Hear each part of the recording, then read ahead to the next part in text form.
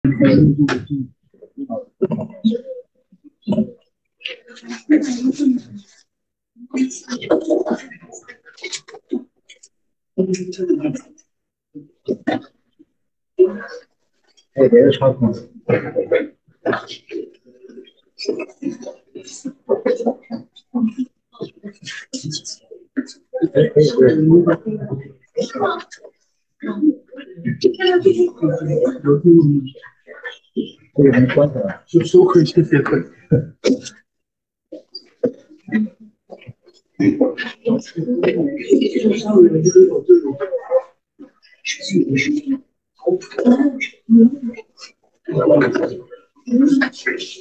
你说还要控制一下。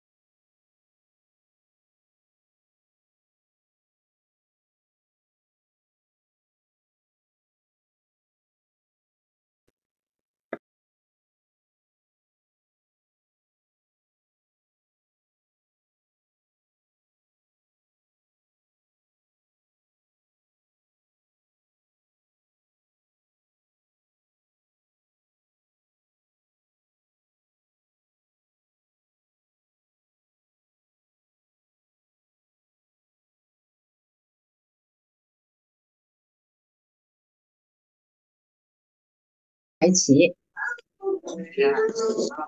嗯。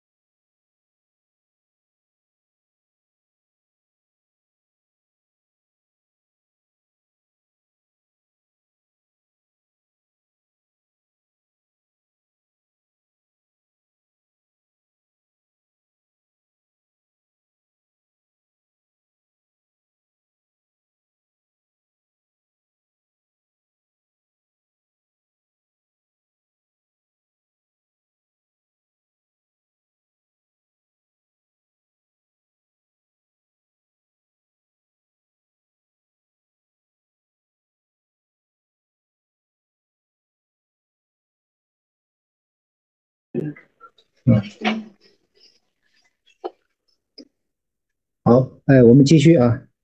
这个，呃，我首先介绍一下这个机器语言能力评测的一个，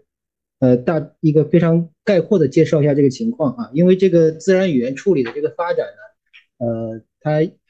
这个最近几十年吧，已经啊，都是这个所谓的我们说数据驱动啊，所以这个，呃。评测呢，它有两个作用啊，一个就是看看这个机器的语言能力达到一个什么水平了，第二个就是设计评测任务，它会积累大量的这个数据啊，积累大量的这个数据啊，所以这个我们简单的介绍一下这个评测的一个呃情况啊，以定义这个规范的任务啊，定义一个规范的这个任务作为一个载体啊，那么然后要制作一个数据集。根据这个机器啊，也就是程序啊，软件系统在这个数据集上的这个表现啊，来判定啊，它现在达到一个什么样的水平啊？其实跟我们人类的考试这个模式是完全一样的啊，就是分科考试是吧？考这个语文、数学啊，这个呢主要是语言能力啊，呃，但是实际上不仅仅是语言能力，它因为这个语言其实是一个载体啊，它涵盖了很多方面的能力啊。那么这个其实很好理解啊。那么但是具体呢，这里面的内容包括的很多啊。这个这个是我们这个孙志芳老师的一个博士生董清秀啊，他作为第一作者啊，发表过一篇文章。这个我们共同啊，这个对这个方面啊，这个机器语言能力评测这个 NLP 评测这个任务呢，做了比较呃多的调研啊，总结写了一篇文章。那这里面这个 NLP 评测呢，就包括这个评测任务啊、评测数据集，呃，这个评测指标啊，这三个核心的方面啊。所以这个评测任务要经要要确定我们的目标是什么啊，要要对它进行比较明确的啊、清晰的一个定义。那最最核心的工作，实际上要收集这个为这个评测任务服务的数据集啊。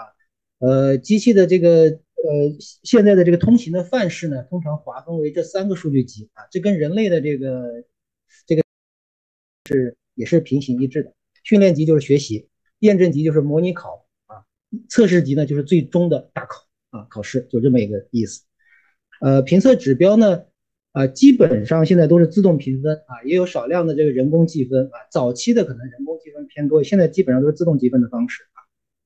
所以相关的工作就会涉及到标注平台啊、标注工具啊、说明文档啊等等，啊，是一个呃非这个工程这个密度非常高的这样的一个工作啊，需要很多的人力、物力的财力的投入。那么这样做好以后呢，就有机器模型来参与这个考试啊，就是来所谓的评测啊。所以一般的工作模式就是我们设计一个任务以后，找到一个平台去发布，发布以后呢，如果这个任务有吸引力的话，啊，就可能有很多。相关的研究单位啊来参加，啊，我们今天主要要给大家介绍的是我们前年、去年啊连续两年在这个中国的计算语言学的这个学术会议那个平台上啊发布了一个中文的空间语义理解的这么一个任务啊，但是呃客观来讲呢吸引力不是那么强啊，参加的单位人数不是特别多啊，呃这是一个基本的情况就是这样啊，所以它。我们作为组织单位啊，做了两两次的这个评测啊，那么这是 NLP 评测啊，那么现在 NLP 评测的一个这个大概的一个背景啊，这个时间的关系，我们简要的这个了解一下啊，这个最初当然就起源于这个图灵测试啊，这个大家可能都知道这个概念是吧？然后慢慢慢慢这个发展啊，越来越这个呃这个现在就是说。已经是呃非常普遍的啊一种这个模式啊，就是通过 NLP 评测来了解机器的语言能力啊这样的一个情况。呃，大致分一下呢，就是分成可以分成单项能力评测、综合能力评测啊。这这个我们前面可能是一些背景性的知识，我们很快的过一下啊。但这个。呃，单项呢，大家可以看从这个名称上看啊，就是说命名实体啊，尝试推理，就是 NLP 里面常见的一些任务啊，关系抽取、情感分类等等啊。那么，呃，综合呢，就是把这些任务呢全部，呃或者部分的啊，把它合在一起啊，因为现在这个数据驱动的这个模型越来越大，它的能力越来越强啊，人们觉得那个单单个的来评它呢，考它呢好像考不住它，就是所以把这些任务串在一起啊，来。做一个这个考试，跟我们这个人这个考试类似啊。呃，这个是一个就是呃原 NLI 的任务，自然语言推理这个任务的一个数据集的一个发展情况啊。这些这些概貌性的，就大家了解一下，可以非常直观的呃看到，就是这个这个这个方这个领域这个方面的这个发展啊，非常的这个迅速，然后数据量扩扩充的很大。这个纵轴是一个呃这个。纯十的这样一个量级，一一百、一千、一万、十万、一百万啊，所以我们看到这个规模的膨胀速度啊，大概从二零这个，呃，这个这个好像不行啊，二零一五年、二零一六年这个时间，这个时间开始往后就一下子爆发式的是吧？是这这样的一个背景啊。呃，这是一个就是数据规模很快的膨胀扩大，这是一个情况。第二个情况就是，呃，这个呃研究人员呢，就是一个是这个综合的这个各项任务把它综合到一起的这样的一种评测模式，呃，就是受到特别多的关注。像这个 GLUE 啊，G-L-U-E 这个 GLUE 通用语言理解评测，呃。特别受关注，这个就伴随着我们今天待会儿那个所谓这个 Chat GPT 这个大模型的这个产生啊，跟它跟它是有密切关系的啊。就大模型出来以后呢，这个机器处理语言的能力啊，突然有一个好像有一个质变的那种感觉一样啊。那么，那么在这个从二零一八年啊，这个到现在啊，这个它提高的速度，就是它这个处理水平提高的速度也非常的快啊。这个这个是显示这样一个过程，所以觉得人就觉得考不住它了啊。那么这张图呢，就是说，呃，这个有一个阅读理解任务啊。Stanford 发布的这个阅读理解任务，这个呃到呃大家可以看到这个横线啊，这个这个上面这个九十分左右这个横线是人类水平啊，在这个二零一九啊，呃二零一九年这个时候啊，二零一八年是第一个版本啊就已经超过人类水平了啊，然后二零一九年第二个版本超过这个人类水平啊，就是。呃，机器的能力的提升速度非常的快啊，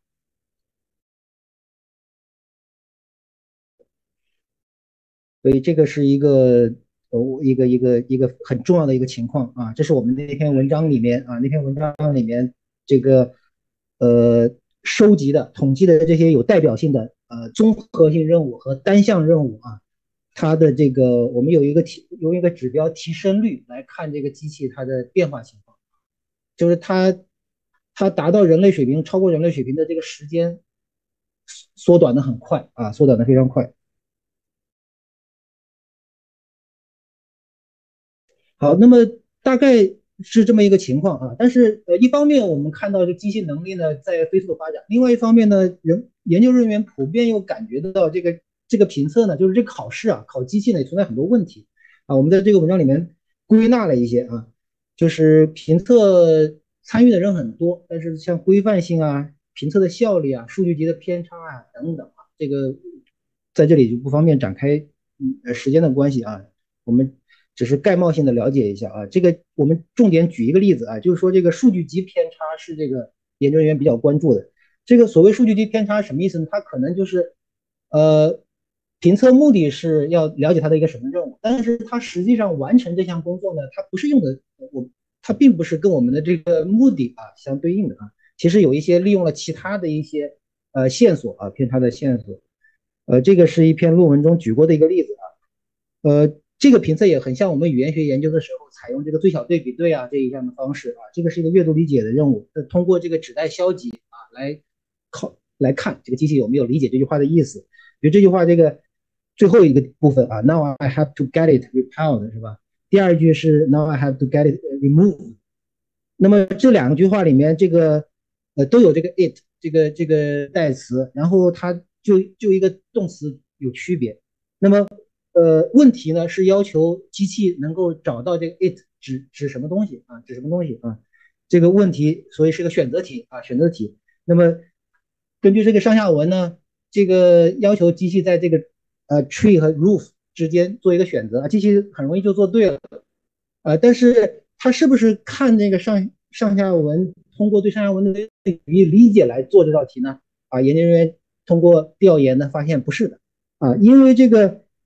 roof repel 的这个这个这个很近的这个组合呢，是一个非常常见的一个组合，所以它很它就它根本不需要看上文，它就可以判断这个，然后把这个 tree remove 呢也是一样的啊，所以它。呃，我们的测试目的是想看它这个代词的指代啊，要根据上文的一些信息啊进行分析，这样啊，我们跟就像我们我们人想象是这样，但是这个机器它完成这项任务呢，实际上不是这样啊，这个就是这个这个现象比较突出啊，那么所以也就引起了研究人的关注啊，就是说这个 LP 评测啊，这这样的有这样的一些问题啊。呃，所以我们也是呃尝试啊，在这方面做一些呃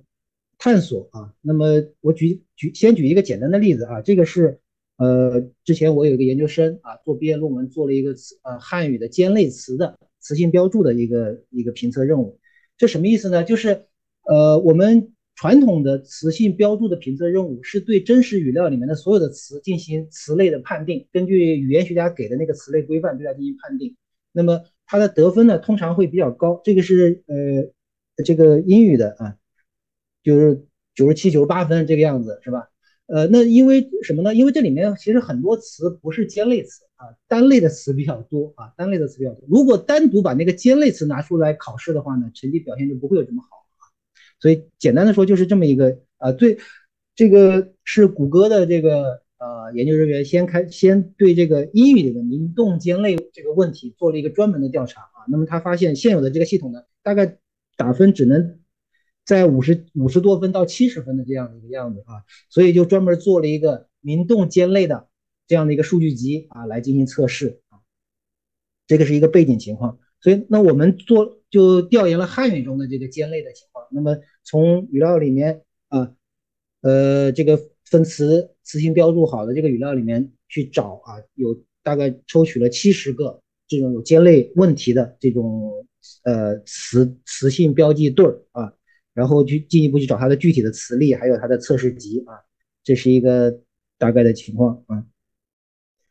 比如说像这个等等，它是有这个等待的等，也有这个呃这个表示这个列列举的那个助词那个等是吧？等等那个等，还有了啊，这是助动词和助词的这种啊。所以根据呃就是我们根据现有的这些词类系统，它在这些问题上呢容易犯错啊，就把这一类的都挑出来啊。呃，那么这个呢就是。我们称之为这个细力度的精细化的啊，更加精细化的一种测试啊，更具有针对性啊，更具有针对性，比那个之前的比较，呃，他不去挑选这个词类啊，可能会呃更更有说服力一些啊，更能够呃看出机器的这个实际的能力啊，啊，这个我们很快就过了啊，这个就我们可以看到这个下面这个呃现有的这个中文分词和词性标注的系统，这个都是。比较在国内使用比较多的，我们就 A B C D 五个系统啊，我们对五个系统做了评测。那么，呃，有一些中文的这个词词类尖类词的标注，它跟分词是连在一起的，就是它既有分词的问题，也有词类标注的问题。那么这是一部一一部分，还有一部分就是分词分好了啊，词已经都定好了，但是它它还有尖类的问题，是吧？这个这两张表呢，就是分分开来说了一下这个情况啊。呃，右边右边那张表是总的情况，左边这个表是。呃，就是说它，它如果以我们以第一个例子来看的话，就是它它如果分开的话呢，是一个副词加一个动词啊，D 加 V 是副词，然后它如果合在一起的话呢，啊，就是这个连词啊，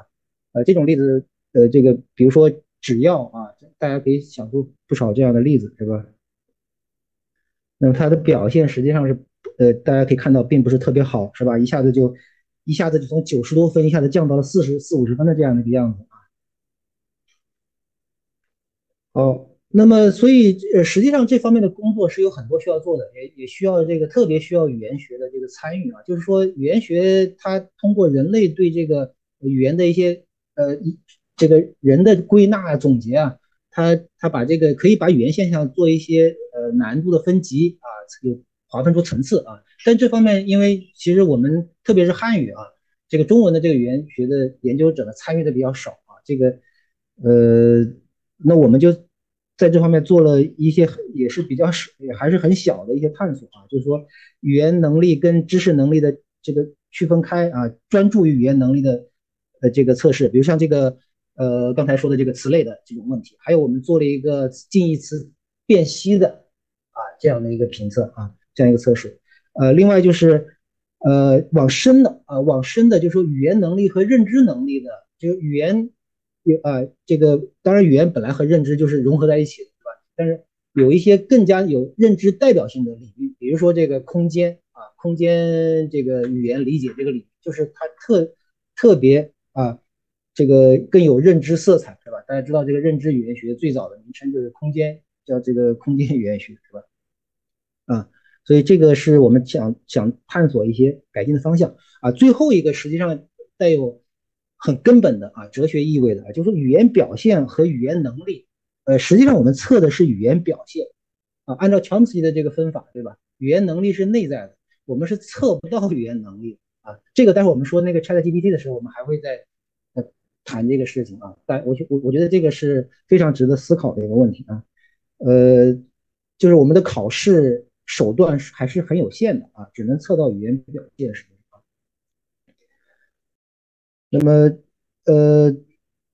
这个我们准本来准备的是要谈这两个评测的啊，但是时间的关系，我们要留一部分给那个 ChatGPT 呢，我就把第一个这个近义词辨析这个任务呢就略过了啊，简单的说一下，然后呃稍微详细的说呃给大家介绍一下这个空间信息理解这个任务的情况啊。这个呃再说一下，就是说我们今天介绍的呢，可能更多的是在那个呃前前这个这个这个整个这个评测，它是一个一个比较复杂的一个过程啊，就是我们用这个。呃 p u z o v s k y 啊，这个就是生成词库论的这个作者啊，大家可能比较熟悉这个。他他对这个机器学习啊、语料标注这个这方面呢，也非常的有很多的研究啊。所以他提出一个这个特别好记的啊，一个 matter 啊 matter 这样的一个循环啊，就是语言要要我们要做这个语料标注，要做这个工作呢，呃，有一样有一个这样的一个循环啊，建模、标注啊、训练、测试、评价、修改啊。然后再修改，然后再那个提升这个建模啊，形成一个这样的一个循环。所以，呃，用这个可以，呃，工程上啊，可以去比较清晰的描述我们所做的工作啊。那我们在介绍的时候呢，可能主要在建模和标注这个这个内容的这个这个内容方面啊，像这个训练啊、测试啊这些跟计算机技术、跟这个程序工程序方面的工程关系比较密切啊，我们就不涉及啊。呃，中文近义词辨析实验这个做的比较早了，是一七年那个时候，呃，这个我的一个博士生曹小玉啊，他他本身是做这个对外汉语教学的啊，也是在职念博士，所以他呃对这个问题很感兴趣。那那个时候呢，这个机器的像这个大模型的前期阶段刚出来啊，就我们就很想那个看看机器，呃，在这个近义词辨析这个任务上啊，这个表现怎么样？呃。跟这个二语学习者啊是一个什么样的一个呃呃对比的关系啊？所以这个研究动机就是这样啊，就是想看看这个呃机器能不能做这件事情啊。呃，当然这个机器做这个事还做的不错啊，就是说跟二语学习者的这个水平大致相当啊，当然跟母语者要差差不少啊。所以主要呃这个文章做的就是这样这样一件事情啊。那么。呃，我们做了就是呃母语者挑选，母语者有二十个人参与了这项工作来做这个测试，然后呃这个主要是评评估一下那些题的难度水平怎么样啊，然后二语者一共有五十九人，机器学习程序呢一个人啊六十个人啊就有六十个样本啊，呃这个我们就很快的过一下啊，这个是最最终的这个结果，大家可以看一下啊，这个呃。N 代表啊，N 代表这个呃 native speaker 啊，就是母语者啊，S 是这个学生啊，S 是这个学习者啊，二语学习者。呃，然后分了两组，一组是 HSK 六级这个水平的，这就属于高级水平是吧？然后其呃还有这个四级、五级的，这个就是六级以下的啊，就是 HSK 六级和这个六级以下的水平的差距是比较明显啊。呃，然后 M 是这个机器的。啊，机器的一个表现，那我们可以看一下，就是这个机器的这个表现是，呃，按照延时标准的话是五十八分啊，跟这个 HSK HSK 六级以下的是五十三分啊，实际上它超过这个，但是 HSK 六级呢是七十四分啊，大概是这么一个情况啊。好，这个我们就不。详细去介绍了啊，就说机器学习程序啊，在这个任务在这个任务上啊，总体表现啊，跟二语学习者是有明显的可比性的。就是呃，我们刚才给的是这个呃得分的结果啊。如果看那个我们这个呃这项评测是呃二有二十七组啊，二十七组近义词啊，一共一百道题啊，二十七组近义词一百道题。如果看那个单项题目的这个得分情况，这个分布情况。啊，它的可比性也是比较明显的啊。那么，呃，就是可以，呃，那么如果算他们的分数的这个相关性呢，也是比，呃，就是跟，特别是跟这个 HSK 六级以下这这一组呢，机器的表现和这一组的表现相关是正相关是比较明显啊。呃，另外就是我们那些辨析的那些近义词里边，有的呢，就这是从人的视角来看啊，有的是就是说它有，比如说我们。通常用的那些辨析手段是吧？搭配呃不一样，或者它的句法分布有什么不同，或者是它就是一个纯粹意义上有区别啊？这个有不同的特征啊，有不同的特征。从机器的表现来看呢，呃，那个时候的模型啊，那个时候的大模型啊，跟在现在来说是小模型，但是在当时来说是大模型。那个时候的大模型呢，呃，一就是说把握整体意义的这个能力已经凸显，已经表现出来了啊，已经表现出来。它它并没有像我们预期的那样，就是说如果只有形式线索，它就能做出来；如果没有形式线索，它就做不出来啊，不是这样的啊。它好像能把握整个句子中这些词的这个关联啊，就已经表现出这样一个特点了啊。所以就是呃，从意义的角度啊。它来做辨析啊，也是一个很重要的一个一个一个方面啊。那么同样的，就是说我们呃今这个今年的一月份啊，就是我们假期寒假期间，我就拿这一百道题，同样的一百道题，让这个 ChatGPT GPT 也做了一下啊。呃，当然它就是没有任何训练的，是吧？啊，这个大模这个现在这个大模型厉害，它不需要你有一个新的任务要对它进行训练啊，直接上来我们就直接上来就对它进行测试啊，在就相同的题目啊。但是它的这个得分呢是五十七分啊，就是它一百道题里面七分啊，呃，所以就是呃，这也这个小这也是一个例子，就是说 ChatGPT 我们在用自然人的这个心态去跟他聊天啊对话的时候呢，它它的连贯性各方面的表现是非常出色的啊，呃，就是语言能力还是非常强的，是吧？但是现在我们要组织一些像考试啊这样的事情呢，他还不是个特别好的学生，看起来分数还。一下子不容易考得比较高啊。好，那么下面我们就重点说一下我们这个前半部分啊，我们重点说一下就是呃我们做的这个空间语义理解啊，空间语义理解这方面的工作啊，这个涉及的方面也很多啊。当然这个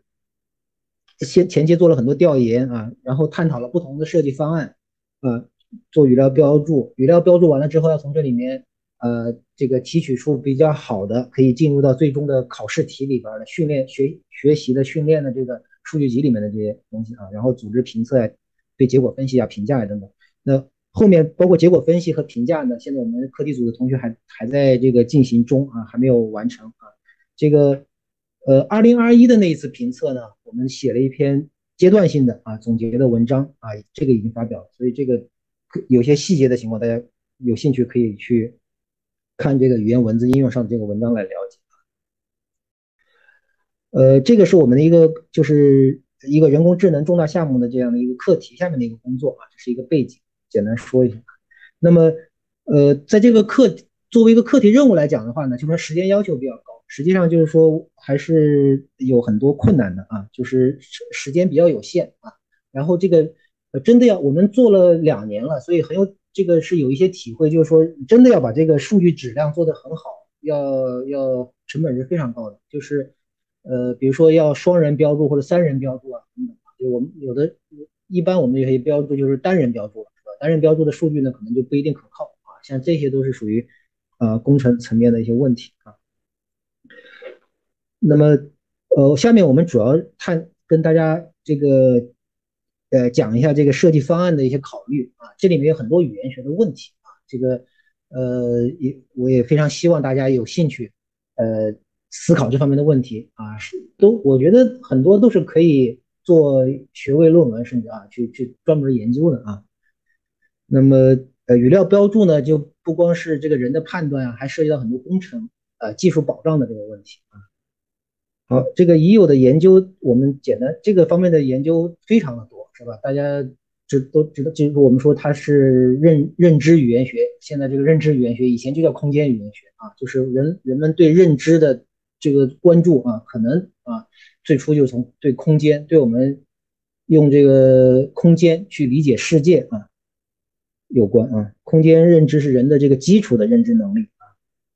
那么自然语言处理，就计算机让它具有空间能力，呃，空间认知的这种能力呢，也是很早就有这方面的研究了啊。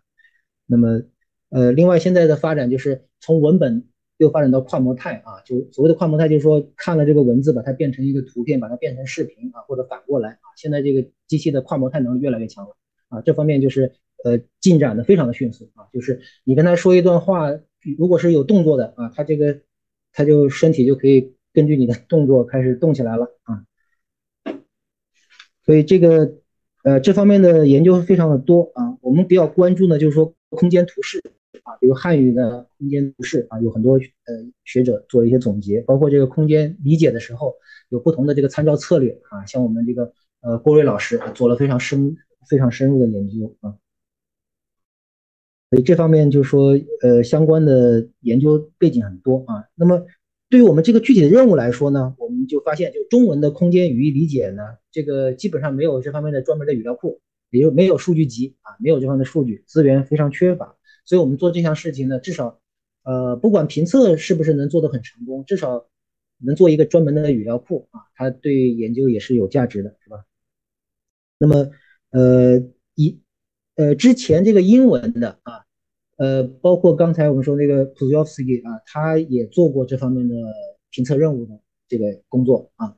呃，但是规模比较小，而且任务相对。呃，单一一些啊，所以我们也希望在这个中文的这个这个方领域呢，呃，考虑的更 这个任务类型更丰富啊，呃，调就是说考察机器的能力呢更更呃角度更多一些啊，呃，还有一个就是之前的这个语料或者任务呢，都是针对呃自然语句啊正常的句子，那我们从语言学的角度出发呢，我们就非常。呃，就很自然的啊，就会有一个想法，就是说正例和复例啊，甚至复例更有价值、更重要，是吧？所以我们就关注这个空间，呃，信息，呃，正常的这个语言表达中的空间信息，这个，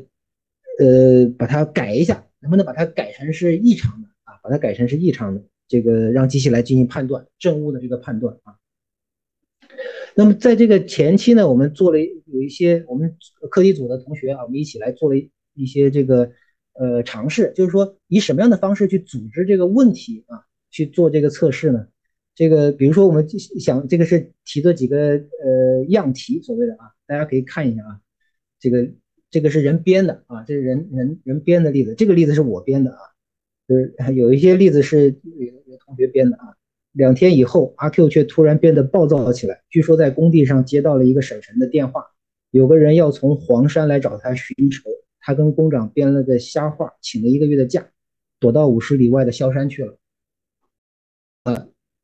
然后问问题呢？阿 Q 的工作地点最有可能在下面是哪个地方？根据上面这一段描述啊，最有可能在哪个地方？这个需要一些地理知识，对吧？啊，需要一些地理知识啊，要啊，当然跟呃不用特别精细的话，肯定可以排除是北京，对吧？因为那个离离那个什么萧山有点远，萧山在那个浙江，是吧？嗯。啊，就是这这种类型的啊，我们现在这个时间关系呢，我们大家就不要去做这个题了啊，就是这个这种就是这个呃，不是一个，就像刚才我们看那个英文的例子，那个机器阅读理解呢是用，就用这个指称啊，代词的指称呃，这个来包装这个阅读理解啊，我们现在就是用一个选择题啊，就是问这个问题呢可能是开放的啊。然后阿 Q 接到的电话是从哪里打来的啊？因为它是一个省城的电话，省城呢就得判断它是哪个省，对吧？啊，所以这里边就是就就就有这样的一些呃关联的这种信息啊。好，下面就是呃呃都呃有我们举一个例子吧，比如说桌上放了两块积木，红的放在绿的上面，这个出题的目的是把的字结构的理解跟空间的理解把它混就是结合起来啊。桌上放了两块积木，注意红的放在放在绿的上面，把那个中心词省略了，是吧？就是他要他需要去把那个中心词找回啊。现在把下面的拿到上面来，请问现在下面的是什么颜色啊？他做了一个操作，所以要对操作语义有一个了解啊。然后呃，这个题我后来也呃也是那个一月份在这 ChatGPT 去试了，他还他也做不对啊，像这样的一些题目啊，呃。大概，然后还还考虑过用这个汉字来做文章，因为汉字不是有结构、有这个上下左右、有方位嘛，所以来就是说像这个像这种例子，曾把岁字中的山下面的西改为金啊，这个就是说把那个字啊做一些拆解，上下左右做一些替换，让它变成新的字啊，这样的一个设计啊。好，那么当然这个是一个。前期调研中我们做的一些事情啊，就从这个可以大概了解一下我们呃希望就是说从不同的想看看到底哪些方面方便出题啊，能够呃去判断啊去了解机器的这个空间理解能力啊。呃，但是像刚才那种出题的模式呢，就是是是这个手工出题，就编题目的成本非常的高。就是说，作为就是想象大家如果想象自己是个老师，现在要考学生这个空间理解能力，你要去编这样的题呢，成本是很高的，对吧？呃，那么呃，后来我们就放弃了这样的一种呃思路啊。那么呃，实际上就是说，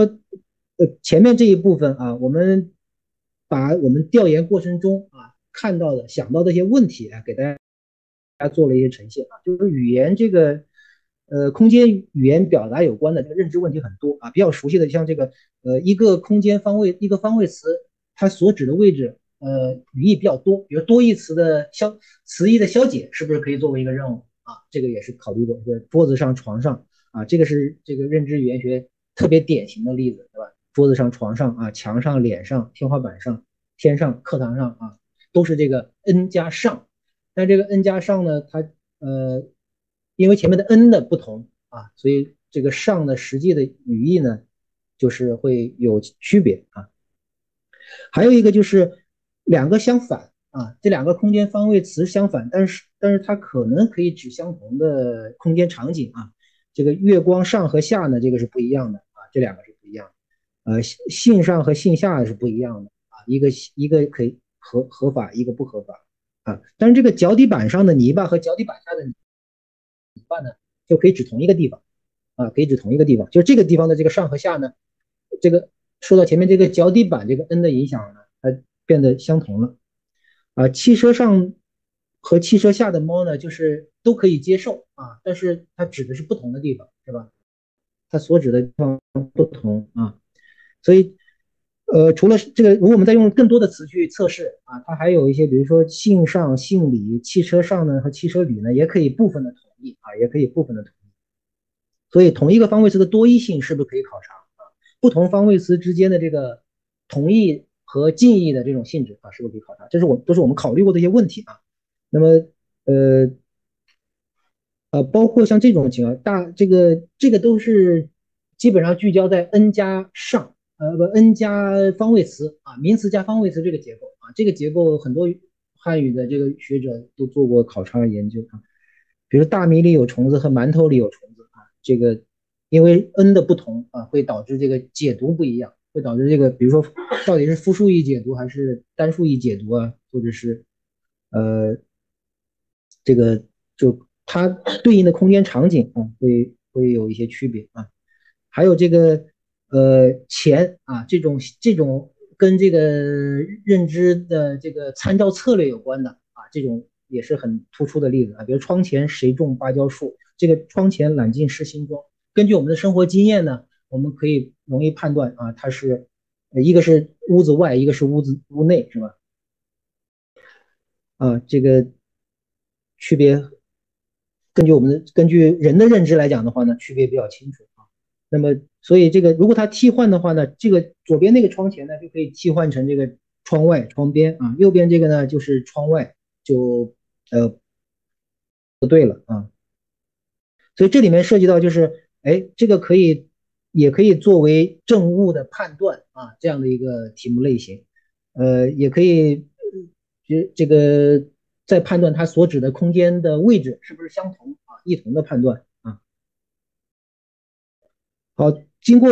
这样的一个调研，这样一个过程啊，我们浓缩的介绍了一下呢，我们就是呃提出，就是中文的空间表达呢，啊，可以基于这个方位跟方位意表达有关的词语，主要是方位词、处所词，还有部分名词、动词、呃副词、介词啊介词，呃这些在这个范围里面啊，我们考虑对那个词语进行用程序来对它进行批量的替换啊，替换完了之后，再由人来检查。这个替换前后发生什么变化啊？采用这种方式来产生那个语料，产生数据集啊。那么，呃，希望能够构建的最后的任务呢，它有一个难度层次的一个递进的这样一个关系啊。标注呢，可以从粗到细啊，呃，这样呃，与对于判断机器的空间语言理解能力呢，它有一定的呃，就是有一定的结构分解啊，所以。从从从大到小有一定的可试图达到一定的可解释性啊，这四个方面啊，就是判断空间语义正常与异常的这个能力啊，识别和解释空间语义异常，就是它如果是异常的，它是哪哪造成的这个异常啊？然后判断这个空间的语义是否相同啊？呃，最后呢是分析空间语义结构啊，这个就像我们的这个语义角色标注啊，这个就是你把这个整个这个句子的意思理解了，那么呃，它每这个相关的语义角色每个部分是不是能把它拆解出来啊，来做一个理解啊？那我们下面看一些例子啊，判断空间语义正常与异常的这个能力啊，我们特别去呃呃，在这个语料方面，我们也有一些考虑啊。这个就是呃交通交通事故判决书这个文本啊，我们找了一些交通事故判决书的文本。这个大家注意看这个呃高亮的部分啊，右转弯由东向西啊，它之前的行驶是由北向南的啊。大家这个时候我们看到人我我反正我是这样啊，我看到这句话的时候，我就要在脑子中。呃，模拟一下啊，我要模拟一下我那个行进的方向是吧？由北向南，好，然后呢右转弯，啊，由北向南右转弯以后呢就由东向西了，这是正常的句子情况啊。好，那么我们替换呢，就是要用这个程序呢去把这里边的方位词改一下啊，改成由西向东，这就肯定不对了是吧？啊，因为你由北向南以后，你右转弯是不可能由西向东的啊。不可能由西向东的，那我们就去探测一下机器能不能发现这个问题啊？它能不能发现这个问题啊？这个就是判断空间语义异常、正常还是异常的这个能力啊。好，第二个就是你要去解释这个空间语义异常，比如这个句子给机器的话呢，我们希望它能够就我有这样的一个场景是吧？啊，有一个冲突啊，有一个冲突。好，那么呃，当然具体怎么去表达这个冲突呢？呃，自然语言的表达的这个可这个选择可能是很多的，所以它这是大客车由北向南行驶，这是一个信息。第二个信息呢，大客车右转弯由西向东行驶，啊，这两个信息是有冲突的，这两个信息有冲突。那么这两个信，呃，当然可能你觉得描述的还不是很完整啊，但我们就呃限于这个条件，就是把有点像那个提示性的要点啊，其中的关键词啊这。就是这个这个想法啊，就把其中表能够表达冲突的关键词，以尽量简短，同时又能说明问题这样一个要求，把它提取出来啊。呃，这个是呃，首先就是我们这个希望啊，能够它能够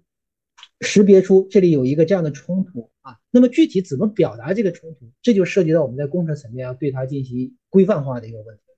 啊，因为你说你说人说一句话表达这个意思，可以有很多说法，对吧？说的五花八门的啊，很可能啊，即便在这个句子范围内啊，还有可能有不同的说法。所以在工程层面呢，一个挑战就是我们要制定一个呃容易大家容易遵守的一个规范，让大家在描述这个语义冲突的时候，尽量写的一样啊，尽量写答案是一样的，呃，这样答案才方便去比较啊，要不然就。对评测是一个自动评测是一个挑战啊，要不然就是像老师得一个一个去看啊，看看他做的对不对了，那就成本很高啊。好，第三个就是判断空间语义是否相同的能力啊，呃，这个这个是我老老举的一个例子啊，他大家可以看看语感啊，这个他缓缓的回过头，朝着面前带着潮气的泥土，深深的吸了一口气，慢慢闭上了眼睛啊。他缓缓地回过头，朝着身后带着潮气的泥土，深深地吸了一口气，慢慢闭上了眼睛。啊，大家脑子里浮现出来的这个空间场景是一样的还是不一样的？不一样。呃，不一样。坏了啊，又又有两种。我我我这个第一次看到是觉得是一样的啊，但是我上这个周一的时候上课的时候也用用这个例子，那个有同学就他构建了一个不一样的一个那个啊。但我感觉更多数的人觉得是一样的，好像是啊，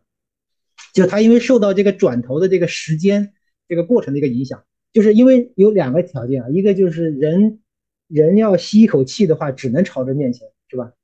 没办法朝着身后，实际上啊，所以他朝着身后的时候呢，一定是这个身后是之前的一个身后的状态相对位置，不是他在吸的时候的像那个那个位置啊，那个位置。那我觉像像像这样的问题是是挺值得研究的啊。呃，作为词啊，作为词来说的话，面前和身后明显是呃对立的啊。作为作为这个词这词汇这个层面，面前和身后是对立的啊。但是在这个语境下，在这个语境下啊，即便你认为它有不同的这个场景啊，但至少你也得你肯定不会反对，就是你会承认它也可以是一个相同场景，对吧？啊，这个我们再退一步了，我们综合一点说的话，至少是这样的啊，你不可能说咬定了说它一定是不同的啊，不能是相同的啊，这个我想没有人会做出这样的判断，是吧？所以这个呢是呃，那么呃，从我的语感来讲呢，它就是相同的啊，它就是表达了一个同样的场景，只不过它的呃叙述这个泥土和这个人的这个方位的相关这个相对方位的这个时间点不一样啊，一个是他转头转身之前，一个是他转身之后，嗯，好，呃呃，所以呃这个这个呢就是确实有一定的难度，所以最终我们其实没有实现这个任务啊，但是我们在构思的时候呢，我们把这个任务是。呃，我是很很希望，我也很我对这个特别有兴趣啊，我也把它提出来，但是实际上我们没有实现啊，我们只实现了另外那三个任务啊，就下面这个啊，我最终还是给站在他面前的人多加了一个菜，我最终还是给站在他身后的人多加了一个菜，这个应该大家都觉得是不一样的，是吧？这个是比较共同的啊，所以判就是说判断一个空间语义两个表达式它相同还是不同的这个能力啊。最后一个就是分析空间语义结构。这个所谓的空间语义结构，就是我们把这个空间场景呢分成了很多要素啊元素，就是角色啊或者叫语义角色都可以啊。比如这个例子啊，这就是我从水里捞出来的美国人手上戴着的戒指，里面刻着他的名字啊。赛科高高的举起戒指说：“上面的名字是啊。”他一边看一边念出上面刻着的字啊，约翰罗伯森邓纳姆。那这个里边啊。一段话里面有几个实体，我们的任务是这样的，就是有几个实体，这这个实体在这段话里面描述了它的空间信息、空间方位信息，那么就把它呃写写出来、抽取出来，把它说出来啊，就就像那个语义角色标注任务是把一句话里面的动词把它提取出来，然后把那个动词的施事、受事啊这些我们语义角色把它标注出来一样啊。那么这里面就是有一个有一个要美国人啊从水里出来，这是他的空间信息。这个他出来的这个相关的事件，就那个动词呢要把它说出来，是捞啊。所以这个是这个表这个去分析的试点呢是以名词为中心的，以这个空间实体啊作为作为描述对象啊，把这个空间实体的方位信息把它写出来把它，以及。呃，是哪个事件、哪个动作、行为跟这个空间方位有关系啊？把它给写写出来。好，戒指，美国人手上啊戴，他的名字，戒指里面啊刻啊，戒指赛克手上举起啊，名字戒指上面啊，字戒指上面啊刻。然后这里面因为有的空间实体是用代词来表示的，所以它也很。呃，就是一定会涉及到这个指代的问题，所以这个他等于美国人啊，要字等于名字等于约翰罗伯森啊，这个任务就是这样，就是把一给给一段话，然后把这段话里面，如果这段话里面有这个空间信息，就把它列出来啊，所以呃是一个信息抽取的这样的一个任务啊，信息抽取的这样一个任务，所以呃那基本上就是这四个我们考虑到的这些，那么在这个我们。二零二一年组织了一次，二零二二年组织了一次。那么二零二二年相比于二零二一年呢，就说有一个呃扩大啊扩充啊就规模的扩充，还有这个数据质量有一定的这个改进啊。这个改进主要是我们第一次在做这件事情的时候，就是替换的这个替换词语呢，呃是非常开放的啊，就没有太多的研究啊，呃导致那个很多的替换呢，实际上就是呃从测试的角度来讲呢。呃，效率这个效果不太好啊，就是呃异常的特别的多啊，异常的特别多，就是就是因为替替换的太随意了啊，就是没有做约束啊。那么二零二二年呢，就对这方面做了一些改进啊，这样的话，我们的替换以后的这个数据质量比之前会好一些啊。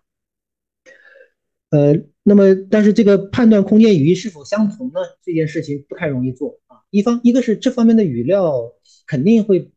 不那么容易找。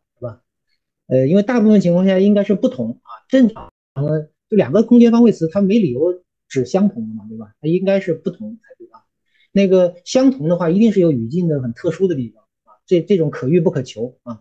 所以这个呃，这个没有，实际上没有进行啊。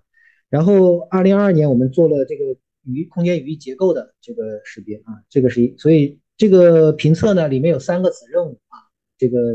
就是判断问判断识别，然后分析啊。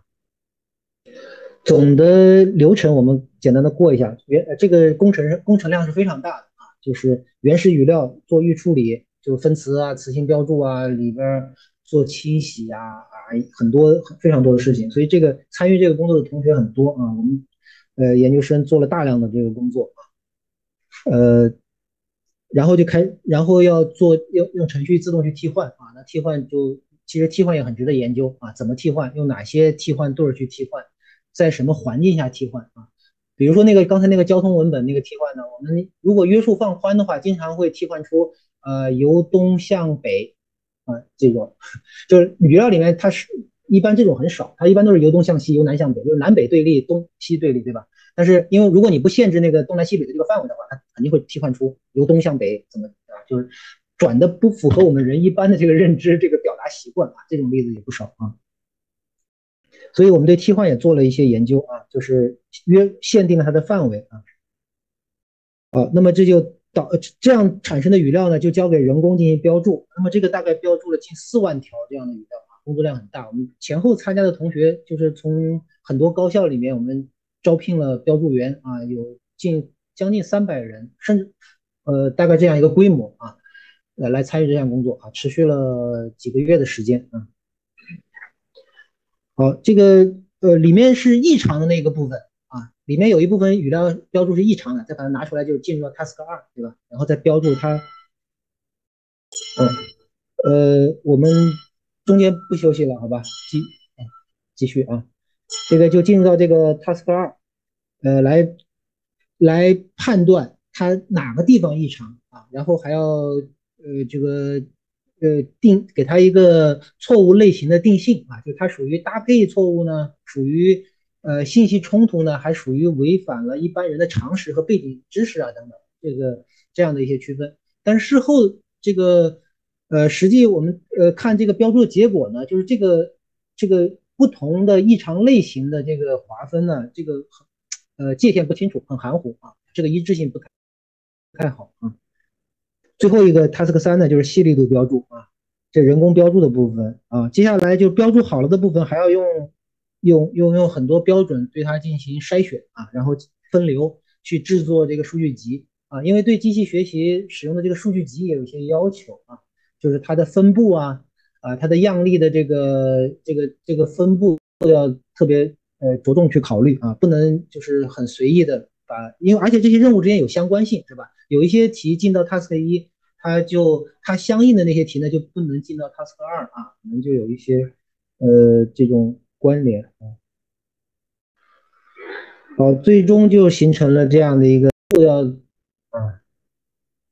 所以整个这个总的流程是这样的一个情况啊。那下面我们就看一下，很快的过一下这个 task 一啊标注呃这几个标注的情况啊，呃，我们是分了，大家看一下例子啊，这个就是很就很认知相关性很高啊。不同的人的感觉不太一样啊，不一定一样，所以我们这个这个策略呢是把它用一个连续性的一个来判断，但是还是分成了四档，相当于是啊，就是完全正常，显然不正常 啊，显然异常啊，呃，这个呃这个被这个小小窗口挡住了啊，这个还有一个就是偏正常，但是就尚能说通啊，还有个是比较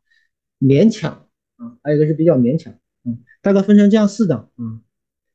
所以，呃，大家可以语感来判断一下，就是茅屋边啊，从茅屋边传出来，这个可不可以接受啊？是不是有点觉得有点模糊的这种感觉啊？嗯，有的人严格一点，他就觉得这个不行，这个；有的人比较弹性大一点，觉得还行吧，是吧？这个完全有这种可能啊。这个还有桌子外。桌子外却放着五袋面粉，啊，桌子论这个内外能接受吗？啊，不太能接受啊。桌子外 可以啊，啊，看什么桌子？对，呃，松鼠靠秋天收藏在洞边的松子过日子，啊，这个我们那个标注里边是显然异常，但是是也许也可能还有人觉得也没那么显然异常，对吧？是不是这个问题啊？可能会有这样的问题。所以这个任务实际上经过我们两年的这样的一个标注，我们现在有点动摇。我们觉得这个任务就也就是说，这个任务给标准答案比较困难，给不出一个大家就是呃百分之百可靠的啊这样的，所以这个任务还在得再思考到底是什么一个情况啊。严格的按照，所以这个这样的就导致这个标注成本特别高，我们标了。三应该是三万七千多，三万八不到，将近四万。如果算上有一些那个浪费的，可能就四万条的这个规模啊。但是最后实际上进入数据集的是前面这个一二这两组，这个是我的博士生这个孙春辉做的啊，他特别仔细的把这个这么多数据做了，就是划分了九档啊。呃，其实可能还还有一个没显示在上面，可能还有一个，我记得还有一个，可能不止，就十档可能有啊。那么一二。是最终进入数据集的，大概是一万五千六百，一万五千七百四十七，是吧？把这前前两行加起来，所以大家可以看到这个这个成品成品率很低啊，很多语料标完了之后，呃，处于半报废或者报废的状态，就是放在仓库里，现在不能用完的，还我们还得再还得再去检查啊，再去，所以这个成本确实很高啊。呃，这个标注是双人标注啊。就是两个人标注一致的，所以就是第一组就是两个人标注一致的鲜明啊，就所谓他说的鲜明加鲜明，就是两个人同时判断正常，同时判断异常，都属于鲜明啊，就这个意思啊。这个细节我们就这里不再详细说了啊，就大家可以通过这个很直观的了解到，就是做做这么一个语言工程啊，它的成本代价啊。那么呃，task 一我们就很简单的过，task 二我们就看，就是说就这样的例子啊，它是一个显然异常的啊。注意啊，呃，这个这个，因为里面有替换的词，导致那个句子意思不对了。夫妻俩商量了几天，买了一辆农用三轮车，农用三轮车的油门在左把手上，张顺东请人改到左边啊。其实我们一猜就知道，肯定是原来在右边是吧？或者或者是在右把手上改到左边，或者是在左把手上改到右边啊，这两种可能性都有。那他就能用左手操作了。那么根据他用左手操作这个呢，可以推测他原来应该可能。因为这个句子没有替换两个词，就替换了一个词，所以呃，我们有少量的句子是替换两个方位词的，嗯，呃，我们也设计了一些这样替换两个方位词这样的句子啊。那么好，这种情况就是说这段话为什么错啊？如果如果用自然语言来回答呢，就是这样啊。农用三轮车的油门在左把手上，如果要改位置呢，按常理，你你可以说一说一段是吧？那每个人说都不一样，对吧？很可能不一样，就是就是字符串意思一样啊，但是字符串层面是不一样的，是吧？但是这样的话，让机如果机器给了答案，我们我们怎么判断它对还是错呢？这要求我们的那个程序也具有非常高的这个智能，是吧？这个就很困难了啊。所以呃，在落实这件事情的时候呢，就是要动脑筋啊，来把这个事情规范化啊，把它规范化的表达。所以我们我们提出了一个叫 SPE。标注法的这样的一个规，就是把这个空间信息呢分成了空间实体、空间方位和空间事件三个部分啊。呃，这个也是跟之前的一些空间呃语言能力评测任务有一个很比较大大区别的地方。就以前的这些任务基本上就聚焦在 S 和 P 这两个信息上面，就是空间实体和空间方位啊。我们觉得。这从语言学的角度啊，就是说这个空间实体它的空间方位信息跟事件是有很密切的联系的，是吧？呃，如果做了这方面的标注的话，以后还有很多的这个研究的呃空间啊，所以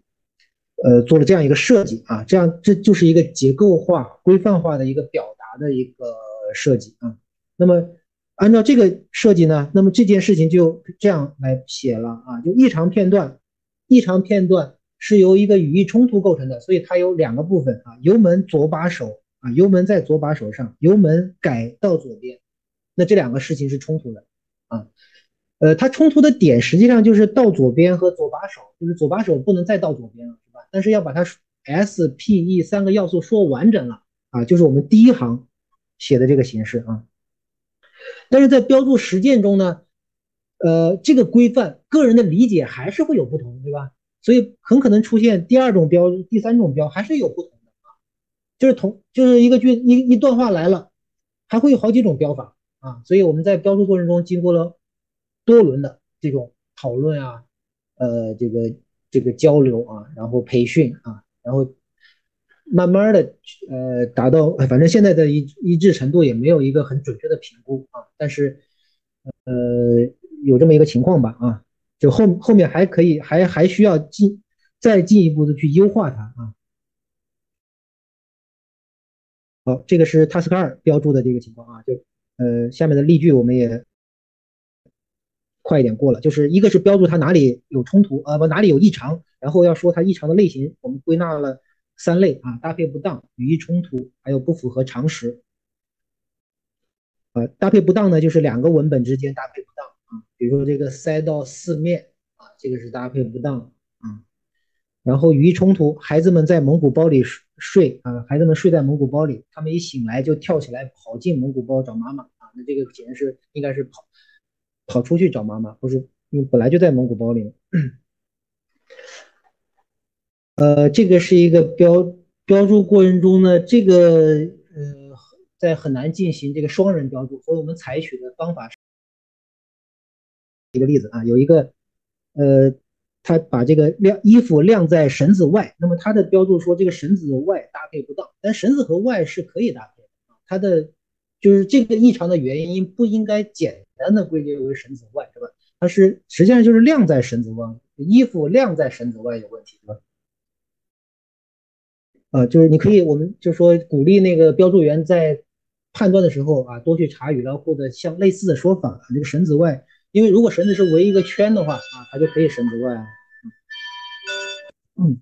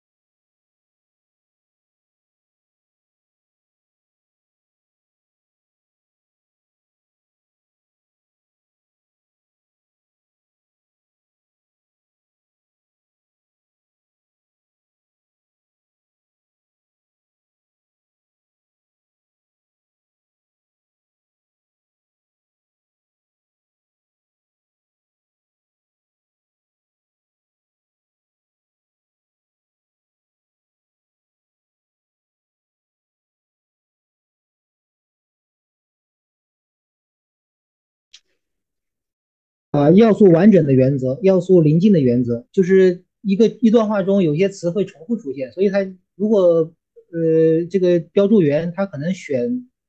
选的比较远的那些词了啊，这样就不合适啊，所以它相关的那个要素呢应该是临近的。这个语义表示要简明啊，平行对比啊，要有要遵循这个平行对比原则，这些细节呢就是我们就这里不展开了。那么这个相关的这些工作都在网上可以。呃，可以可以看到啊，哎，我的声音出来了，我这个不行了又，翻不动了。要不用鼠标？鼠标。好，可以了。啊，大概这个这就比较细了啊，这比较细节的内容我们就过了啊。好，这个是 task 二啊，task 三呢就是做这个呃具体的呃语义结构的描述啊。我们举一个例子来看一下啊，这个就标注量非常大啊，比较复杂了。比如说汤姆平常放在床头的泰迪熊不见了啊，那么我们相关的信息是 SPE，就是实体、空间方位，还有它的相关的事件。这这然后呢增加了一个时间信息，就是 time 啊 t，所以我们把这个标注呢称我们称之为这个 step 方案啊。就是取它这个有一个进阶的这样的一个意思啊，step 空间语义标注方案啊，要标注四项信息啊，空间实体 s，空间实空间实体的呃方位呃所在的这个时间点啊 t 信息，然后它的事件信息 e 信息和 p 信息。那么第一个汤姆在这个句子中有一个实体是汤姆，但是这个汤姆呢，在这个句子中是不知道它的空间信息的，所以这个汤姆就不标了啊。就没有。第二个是这个泰迪熊啊，泰迪熊它的这个信息呢，就是在床头啊，然后跟它相关的这个事件呢是放，它是以可以把它理解为以就是在床头这个方式是放的这个方式，呃，描述它的这个空间信息的相关时间呢是平常啊，这个，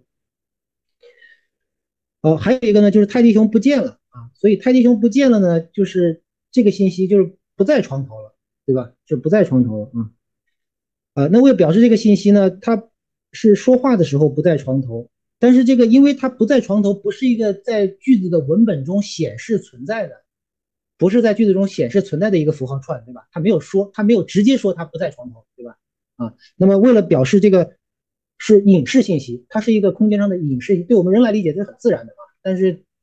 想象成机器来理解它呢？它没有一个不在床头这样的一个字符状态表示，对吧？所以我们对它做了这样一个处理，就是把它说成就是泰迪熊在床头这个信息是假的啊，就说话的时候，如果你这样表述，这个命题是假的，就这个意思啊。所以跟它相关的那个事件呢，就是不见啊，不见的这个这个事件啊。呃，那具体的这个动词呢，还要标注它的语义角色啊。就是按像这个滨州这个命题库的这种方式啊，阿格零、阿格一、阿格 S、阿格 T 啊等等这种方式标注它的这个像呃语义角色谓词的语义角色。好，最终有这样的一些信息点 S、T、E 啊、P、F，然后这个 E 呢要展开啊，E 要展开去描述它的这个语义角色啊，所以这个标注的层次比较多啊，标注量很大。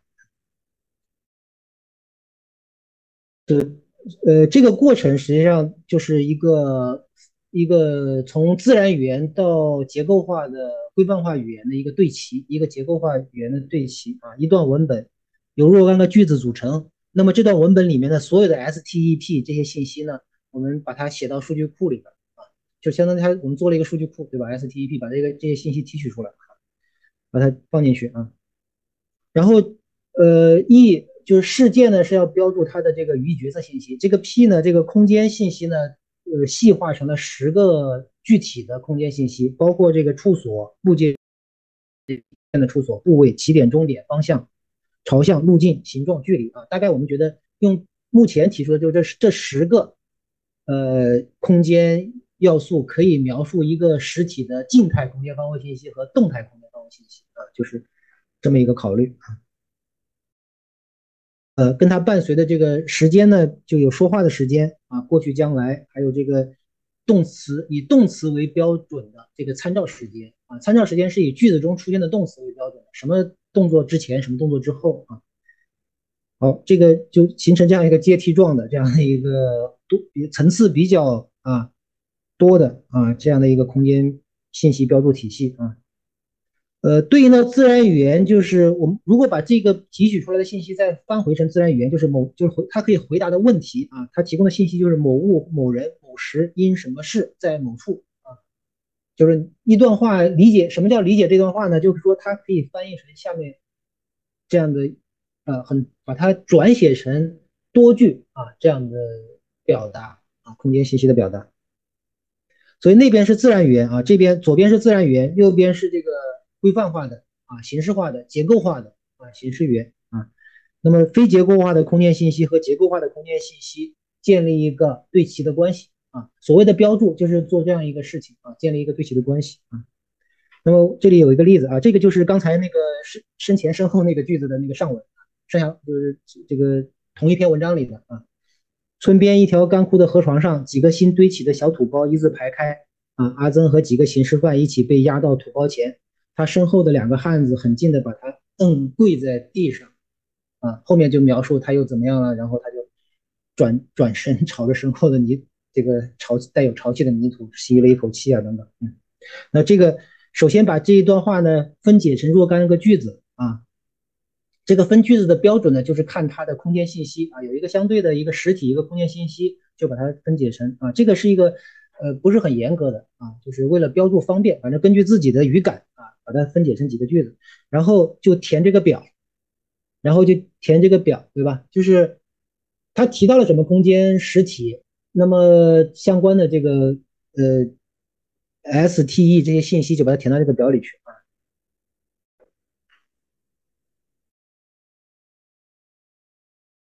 呃，他，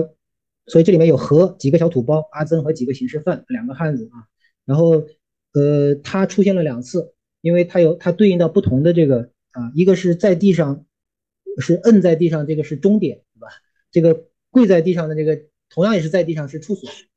啊，就语义是不一样的啊。虽然是同一个实体成分，但是它相关联的事件以及这个呃对这个呃批信息这个处所这个空间方位信息的理解是不一样的，所以把它区分开。好，然后那么这里面涉及的动词有三个：压、摁、跪，是吧？然后在它的相应的这个呃语义角色再标出来啊，压谁压谁啊，压到哪儿啊？呃，这个地方只标那个句子中显示出现的啊，没有出现的就这个不处理。嗯，所以这个贵呢是阿格林，他是阿格林，但是 n 呢这个他呢是阿格一，是吧？是是受使啊，是被动的一方。所以这样的话就呃，我们就是从语言学的观念来看，呃，什么叫做理解呢？就是把左边的这一段自然语言的话呢变成了右边的这一个表格啊，这个就是理解。啊，这个就是理解。但我们要说的是，那个 Chat GPT 它不是这么来理解理解的，是吧？它它是自然对话啊，这个也是一个很大的一个很重要的一个区别啊。待会我们会再展开来谈这个事情。还有一个同质关系啊，它就是阿曾啊。啊，这个呃就是空间方位信息的这个细分啊，分成了这个十个字段啊，这个我们就是按按这是我们通常理解的这个。也参考了其他的一些标注体系啊，都呃有很多是共同的部分啊，但是我们这里特别提出叫部件部位、部件处所和部位，这个主要是在交通事故文本中经常涉及到这个描述这个交通工具的不同的部位，然后撞击的点这些啊，这个针对性比较强啊。呃，这是一个标注界面啊，是一个网页程序啊，这个工作量也非常大啊，也是这个孙春辉博士呃。他设计实现的一个网页程序啊，呃，这个数据目前我们这个形成的数据集规模是这样一个情况啊，呃，task 一是一万五千多条啊，就就是一段啊，一一个问题吧，相当于是一道题啊，一道题，这个里面包括那个语料，也包括那个呃相应的这个问题啊，task 二啊，task 三是两。呃，标注了三千多啊，但是最终进入数据集的呢，也是根据一个比较严格的一个筛选标准呢，只有两千多，也将近有一千多，还需要做进一步处理啊，还要呃觉得质量还不太可靠啊，还需要做改进。好，这个是呃当时报名的这个单位不止这些啊，呃最后提交成绩的只有三家单位，就反正这个任务应该还是比较难的。啊，比较难的。那么从大家可以看这个表现啊，呃，task 一的表现比较好，呃，当然我们说 task 一本身这个认这个认知方面的问题，就是对错的这个判断还是有还是有一些这个模糊性啊。task 三呢都没有过五十分啊，就是 task 三挺困难的啊，就是呃，因为实最后那个从机器评测的角度来讲呢，一共有十八个信息点需要去。呃，去去提取啊，这是整整个情况。那我们下面就简单的看一下这个，我把有一些呃这个空间语义理解的一些题呢，在这个 Chat GPT 上的一些表现啊，呃后后面我们还有一个 PPT 呢，是展示这个呃更多的比较，我我希望做一些系统的对 Chat GPT 的一些测试啊。这个是我们刚才这个讲义中的这个例子啊，呃，首先就是 Chat GPT 有一个特点，就是它不需要去。定义什么任务形式，你就当自然语言，就跟它聊天就可以了。所以这一点是它非常厉害的地方。就它，所以我们就直接问这段话有没有空间信息异常啊？然后他说就是这个刚才那个例子啊，有这个游戏呃右右转弯由西向东这个，呃，他说有信息异常，但问题是他的理解是不对的，是吧？他下面说的这个理由是呃不不是我们。人认为的这个理由了啊，他说的是这个，呃，右转弯以后应该在东侧行驶，和那个自行车应该在西侧行驶啊，这两个呢就呃撞不到一块儿去，呃，那实际上不是这样的啊。呃，我们就用刚才那个讲义中提到的那些例子啊，就是我们就是实际上在编写规范的时候的一些样例啊，就孩子们睡在蒙古包里，他们一醒来就跳起来跑进蒙古包找妈妈这个例子啊，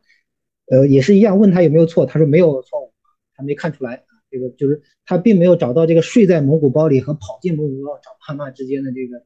这种冲突啊关联，嗯。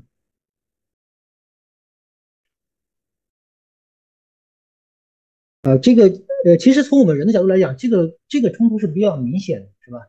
下面这个也是这个，呃，这这段文本应该在网上也能够看到啊，就是呃，当然不不一定他训练过没训练过不知道了啊，就是这个南川河、北川河、西川河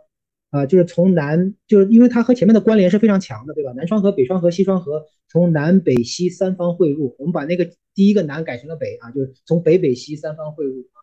这个就是说，基本上我们不需要什么地理知识啊，你一读就觉得很别扭了啊，就对不上啊，就跟因为很很容易猜到前面那个取名字的时候，这个南川河、北川河、西川河，它跟它的流向是有关的，是吧？就是我们这个人人的一些基本的经验了。那么他也是没有找出来啊，他还呃，就跟这个是 ChatGPT 的一个风格一个特点啊，就是他会洋洋洒洒的说一段啊。说的说的就是让你觉得，哎，这个人真能说啊，就是这个感觉。啊，他他他把一些话都从就他说，大家可以注意到他说的这些话很流畅，是吧？啊，非常流畅。这个就是让全世界的人都震惊的就在这个地方啊，就是他他接话啊，接话的能力很强。接话就表示他对你的这个理比较理解嘛，对吧？然后他生成的这个很流畅。老师有没有可能是提问的时候定义？呃，对这个我不知道，这个就是说各种可能性都值得探索啊。就是我们现在现在只是把我观察到的这种现象啊，先跟大家分享一下。我觉得我不知道大家那个用这个的这个这个怎么样啊？因为它不是很方便。像我今天我在准备这个讲义的时候，我今天还在调整一些内容，我就想去访问一下，结果我今天一天也没访上，登录不上去啊。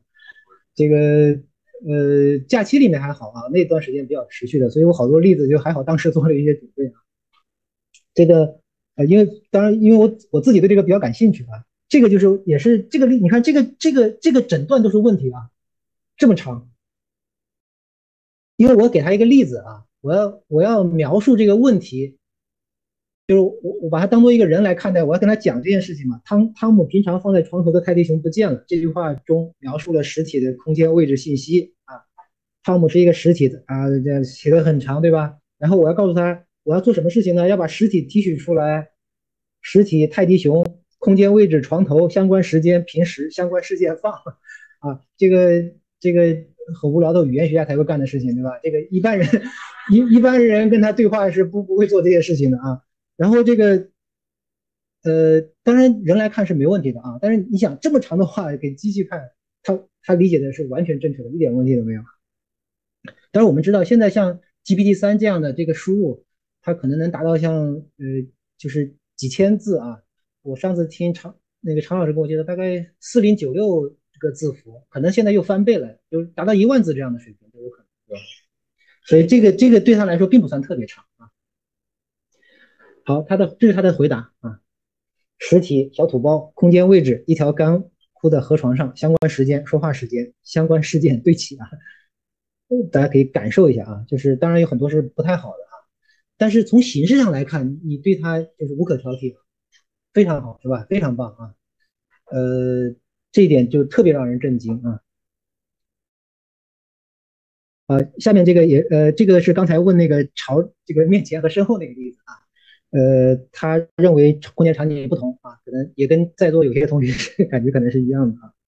啊，这个我们就不说了啊，因为它不符合我的答案啊，我是 觉得是这个一样的啊。好，这个啊其实没有什么结语啊，这个呃写的比较随便啊，就是我们呃在现在这个这个自然语言处理数据集的制作和评测任务的设计的时候呢，就分成两类吧，一类是所谓的浅层标注，一类是深层标注。语言学家关注的或者以前擅长的工作都是做这个深层标注，现在这个大模型呢，越来越多的是浅层标注。到 GPT 三这种呢，它的基础模型就是无标注，用用全球互联网的这些庞大的数据来进行训练啊。就是或者叫自监督、自标注，或者叫无标注啊，这个是一个很突出的一个区别啊。语言学家很辛苦啊，非常投入成本很高，做这个深层标注呢，只能做到一点小规模的啊，但是呃要做到我们的理想是做到精细、很深入、很一致啊，但是现实中呃其实能达到还是很困难，我们自己对这个方面有一些体会啊，还是比较困难啊。那么标注数据呢，就是语言信息结构化加规范化啊，就是希望那个做语言学研究的这个同学们呢，对这方面有兴趣啊，能够更多的关注和参与这方面的工作。所以这个这个部分呢，我们就，我不，呃，我要切换到下面一个啊，我们再花一点时间，那个就是分享一些 ChatGPT 的我的一些的体会吧啊，就他们就，所以我的那个讲座的标题是思考，其实也没思考个思考出个所以然啊，但是呃，我还是做了很，就是平时的时间还是做了很多那个，我先说一下那个大概的。那个一呃，关于 ChatGPT 的这个，算不上我理解的原理吧啊，因为这个技术细节太多了。那个呃，我们在座的可能很多是语言学背景啊，所以也许可以讲一讲啊。就是其实要关注的就一个问题，就是句子是如何生成的。呃，我觉得这是乔姆斯基对语言学最大的贡献，因为他第一次提出的这个问题，提出问题是最重要的啊。我我我我希望大家特别重视这句话哈，就无论是硕士研究生还是博士研究生，其实其实对研究工作来说，最重要的是提出一个问题啊，这个问题就是一个革命性的问题啊，句子是如何生成的？呃，我我上课老喜欢举这个例子啊，张三是县长派来的，句子是如何生成的呢？这个我们的呃语言学界的这个我们的这个。影响了我们整个语言学界这个半个多世纪，一直到现在是吧？乔姆斯基认为呢，语言是由文法生成的，我们的脑子里面有这种文法啊，我们的脑子里面有这样的文法啊，你你你信不信？反正肯定有啊，它是由名词、动词、名词短语、动词短语这样的范畴组织起来的啊，S 可以分。分裂、转换、生成，生成成 NP 加 VP 啊，NP 可以生成出 N 啊，VP 可以生成出 V 加 NP 啊，NP 可以生成出 CS 加的啊，NP 可以生成出 V 棒嗯，好，句子生成出来了，这是乔姆斯基的理念啊，乔姆斯基告诉我们句子是这样生成的，语言学家要做的工作就是不断的去探探讨那个右边的那个那个那个那个规则集啊。就是有很多呃细节的改进啊，那那些都是细节的，根本的哲学思想就是这个啊，就是从五十年代啊，从五七年它的这个句法结构开始啊，就它就是这个影响了整个这个语言学的这个半个世纪到现在的这个格局啊，应该说啊，好，另外一派啊，就是以香农为代表的数学家啊。他们说语言句子不是这样生成的啊，句子是这样生成的啊。张三是县长派来的，是我看到了张三以后呢，我就猜下边那个词是什么呢？啊，是是是是的可能性有多大呢？啊，是一个概率问题，就是统计语言模型，就是猜一个句子以多大的概率，这个字符串以多大的概率接起来啊，以这个字符串以多大的概率接起来。那它以多大的概率接起来呢？我只好去看看他以前是怎么接的，对不对？这就是经验主义啊，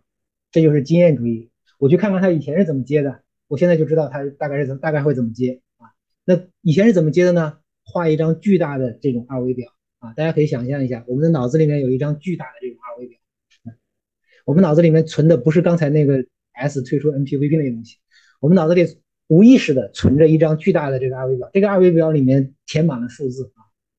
填满了数字这个东西啊，使得我们我们无意识的可以碰到张三就一下子就把下面那个词拿出来了，又把下面那个词拿出来啊，拿的非常的自如啊。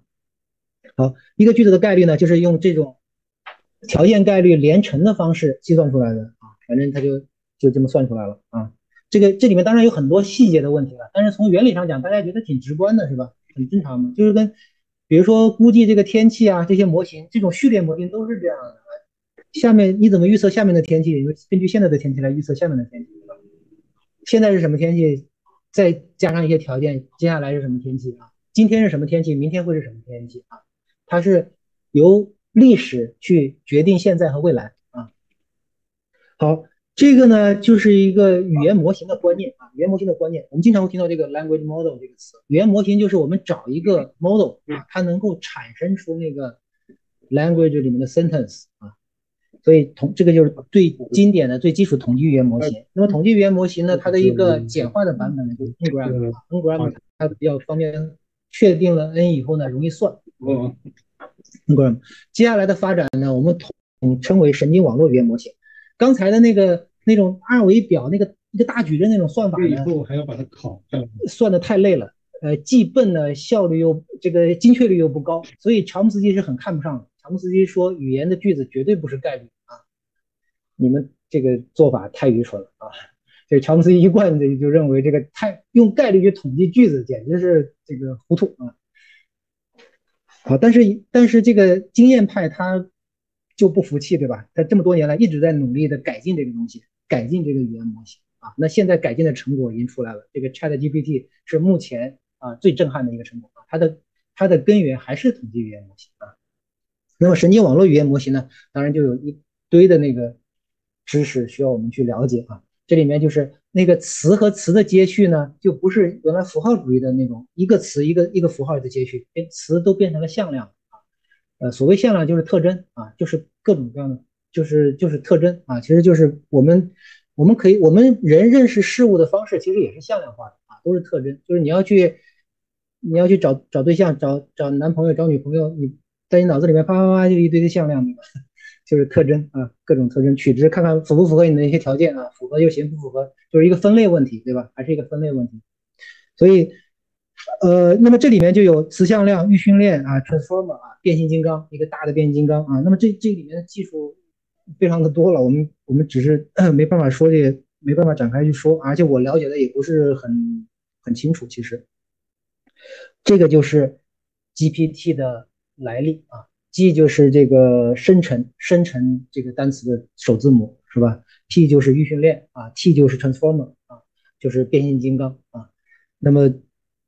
它是一个基座啊，在上面加上了这个 Chat，就是 Chat GPT 啊，专门用聊天这种方式来训来进一步呃让这个 GPT 的能力展现出来啊，就 Chat GPT 啊。所以一个神经网络。就完全模这个人工神经网络啊，人工神经它模拟我们人的这个神经网络，就是有一个神经元有呃有一个输入有一个输出，然后很多神经元把它组织起来啊。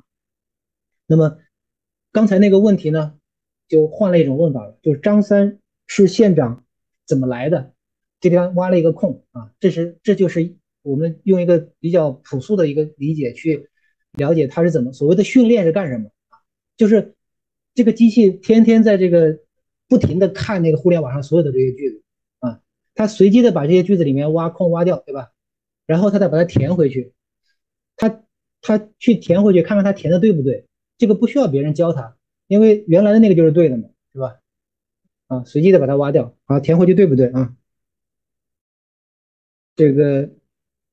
填派就对啊，随便填别的就不对，是吧？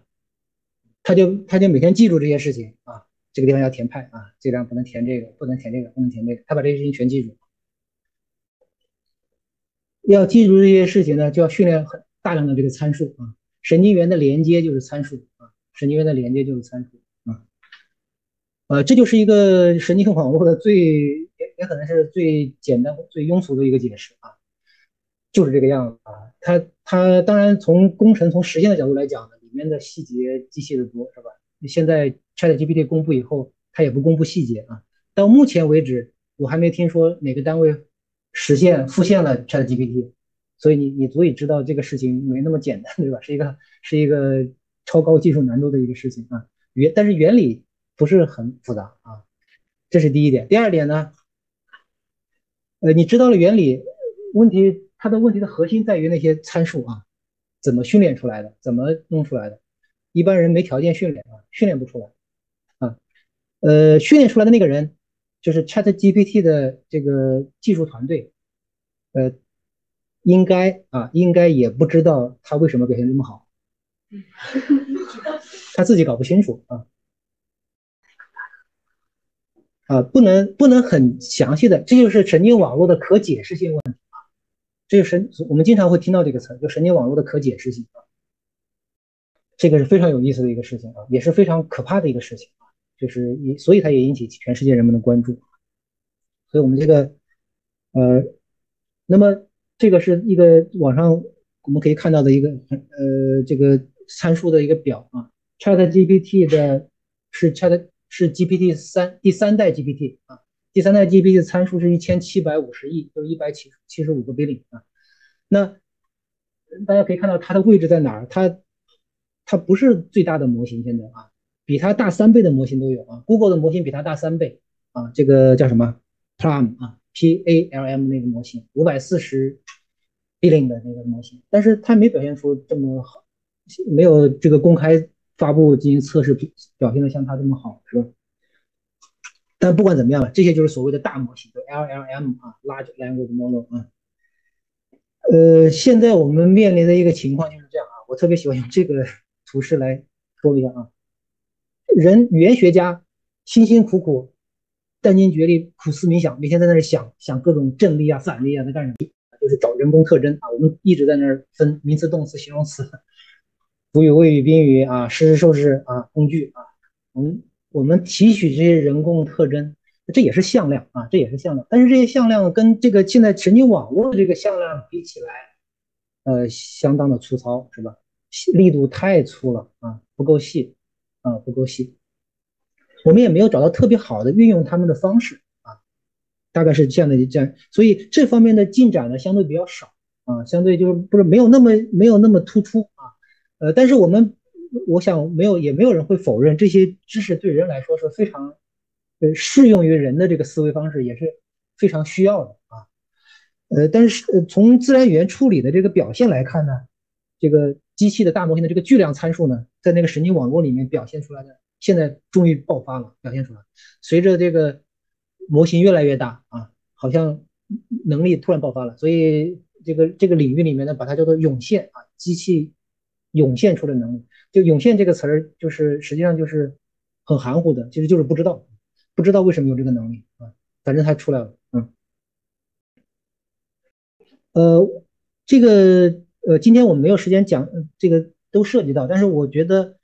我们可以从两个层面去观察这个 ChatGPT 啊，我是把它分为语言能力和语言知识这两个方面啊，语言能力就是普通人我们关心一个语言。能力表现的时候会涉及到哪些？我大概划分了这十个啊，呃，这个并没有什么系统性啊，只是根据我的经验啊，我觉得最基础的句子它正误判断应该可以啊，就是这是语言学家说的语感啊，你首先一个句子来了对还是不对，或者合语法不合语法有个判断是吧？呃，当然从经验主义的角度来讲呢，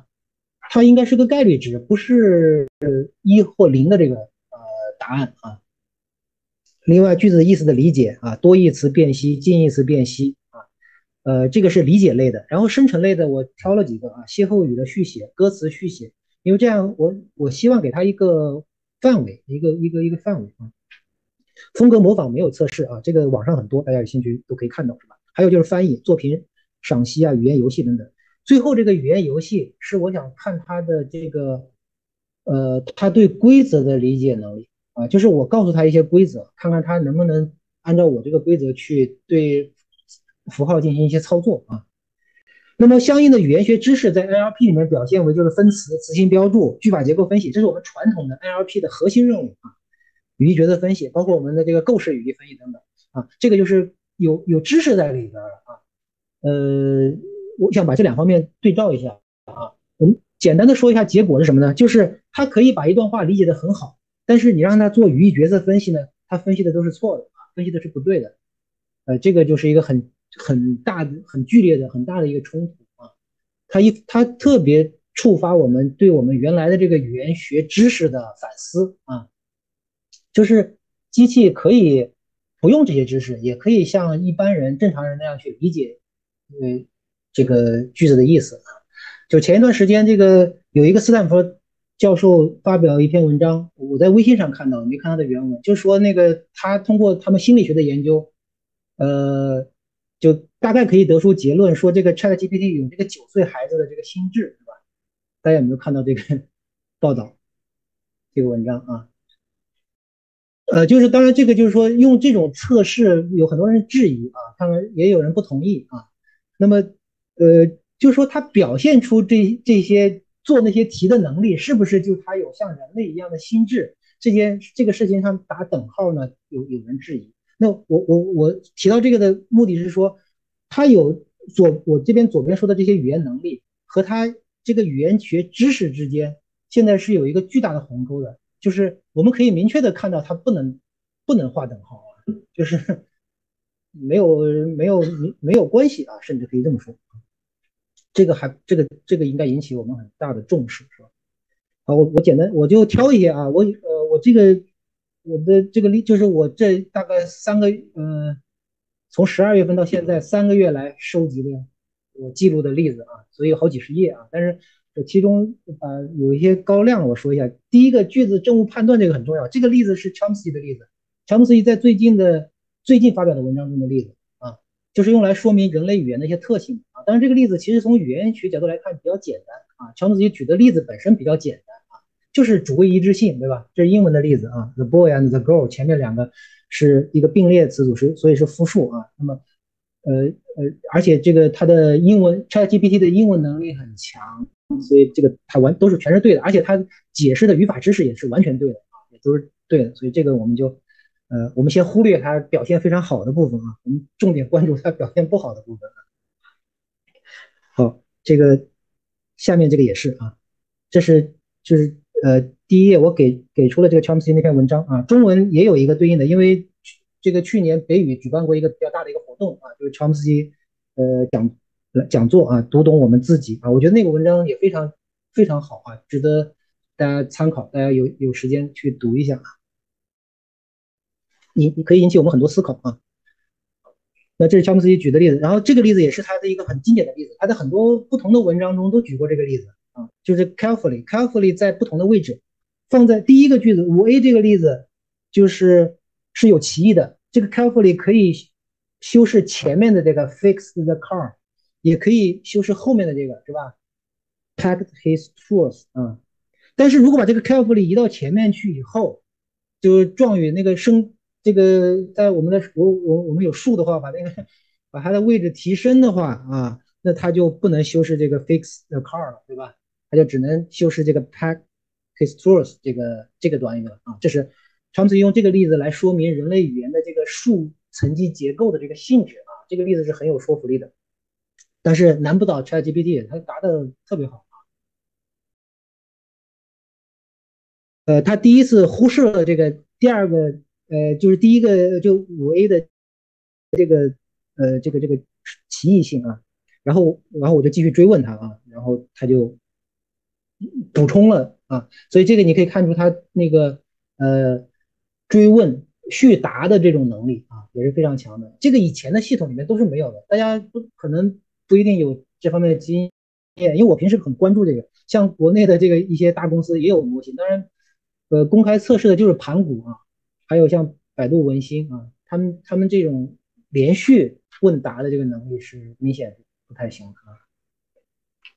好，这个汉语的啊，这是我上课举过的那些例子啊。第二个例子，大家看看第二个啊，阿 Q 不但没有见过，我把那个连词位置换了一下，阿 Q 不但没有见过槟榔，吴妈也没有见过槟榔，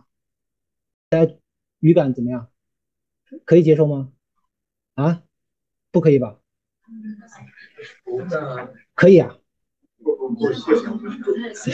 不行吧？因为我觉得像你看汉语这个连词，其实语法汉语的语法这点是很比较强的，我的语感是比较强。我觉得这个很别扭啊，呃，但是很这 ChatGPT 这个它没有识别出来啊，其他的它都识别出来了，但是它的有的解释是不对的啊。就是我呃三四是为了调换一下顺序，那个班有很多长头发男生，那个班有长头发很多男生，就是我们经常做定语顺序测试的时候用的句子。那他他他知道这个不对，但是他把那个长理解成长了，是吧？那个班有很多男生长了头发，这个搞错了啊。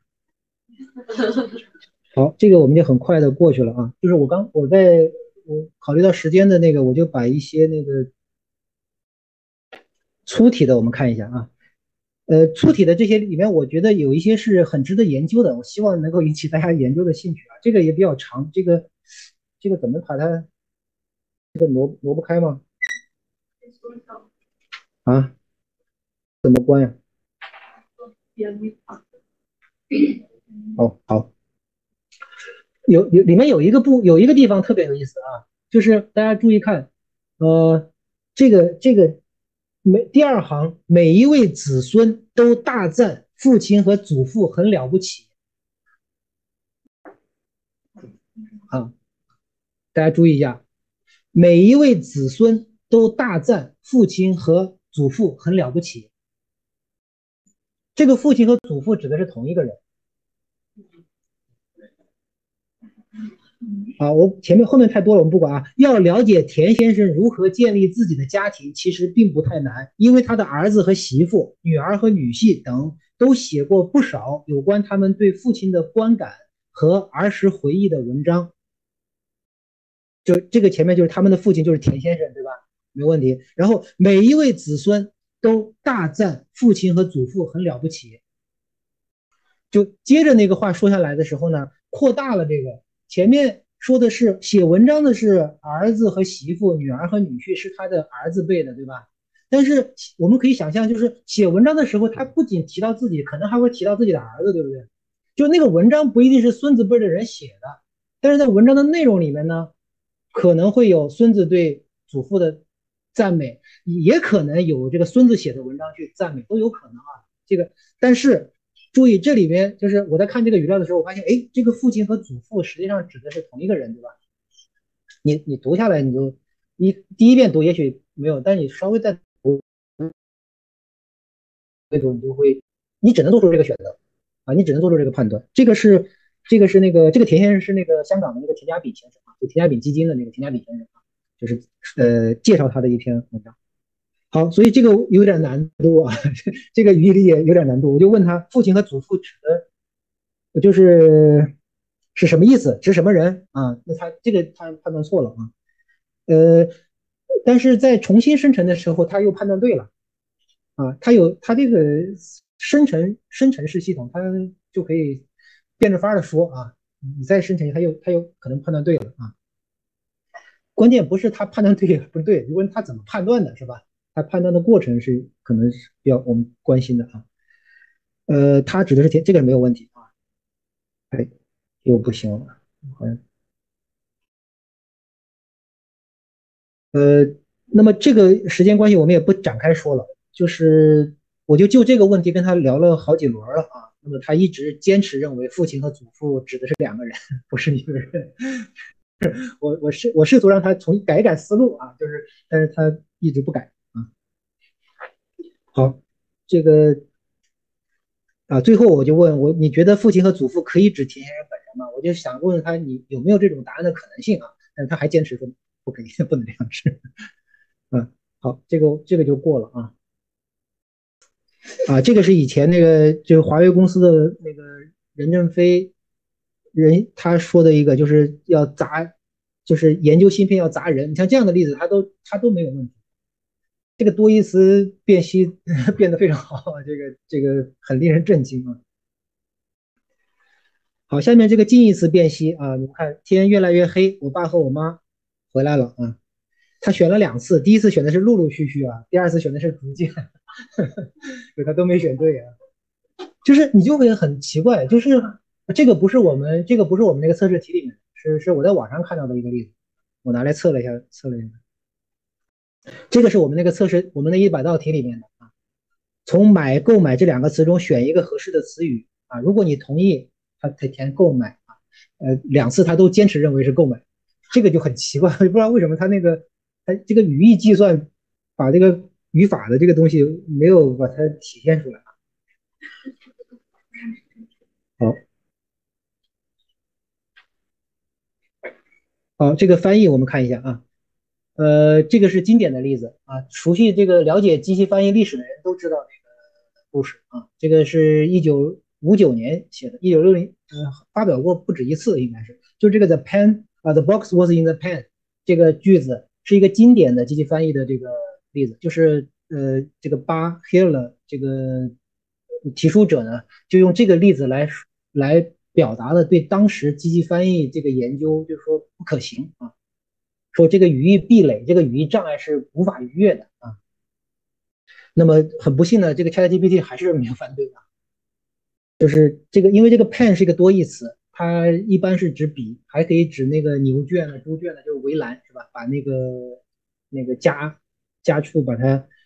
呃围在围起来的那个那个东西啊。所以 the box was in the pen 呢，就是盒子掉到那个什么围栏里了啊，就是这样的一个意思啊。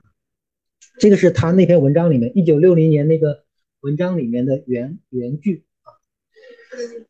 呃，人们经常在 NLP 这个领域里面，人们经常用这个 例子去看看这个机器翻译系统的这个表现啊。呃，像这个也是比有一些有趣的例子啊。You you can't change the people around you, but you can change the people around you。就是英文里面说这个 change 的时候，我们中文在翻这个句子的时候，得得改一下词啊。你不能改变你身边人，但你可以把它换掉，你可以把它给就是 file 掉。嗯，但它没有识别出这个啊。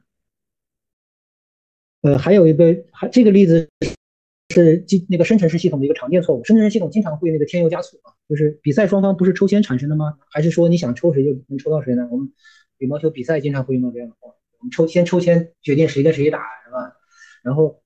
比赛双方是抽他，结果他多出了一个这个比赛的结果是由抽签决定的，他这个看起来都很通顺啊，但实际上跟原意不符了啊。就。然后手眼通天，他还自作主张加了一个 lucky 啊，这个这个 lucky 嘛，这个这个生成式系统它它这个有一个常见的矛盾，就是很多生成系统都是这样，就无中生有啊，无中生有是它比较常见的一个啊，这个是我那个我为了我测既测试这个词啊分词，也测试这个呃这个句法结构的一个例子啊，这次讨论会把绝大多数人都搞晕了啊。这次讨论会把绝大多数人都搞晕的啊，这个当然时态上就会有区别，一个是已经发生了，一个是可能在谈，可能在谈一个还没有发生的事情。当然这个他就，呃，他也没有识别出来啊，啊，这个难了，这个这个这个呃，这是一个真实语料中的例子，我我调整了一下啊，我自己在一开始想的时候有点 有点绕啊，大家注意一下，赵乙就是宋一丹现任老公赵洁玉与其前妻李涛的女儿。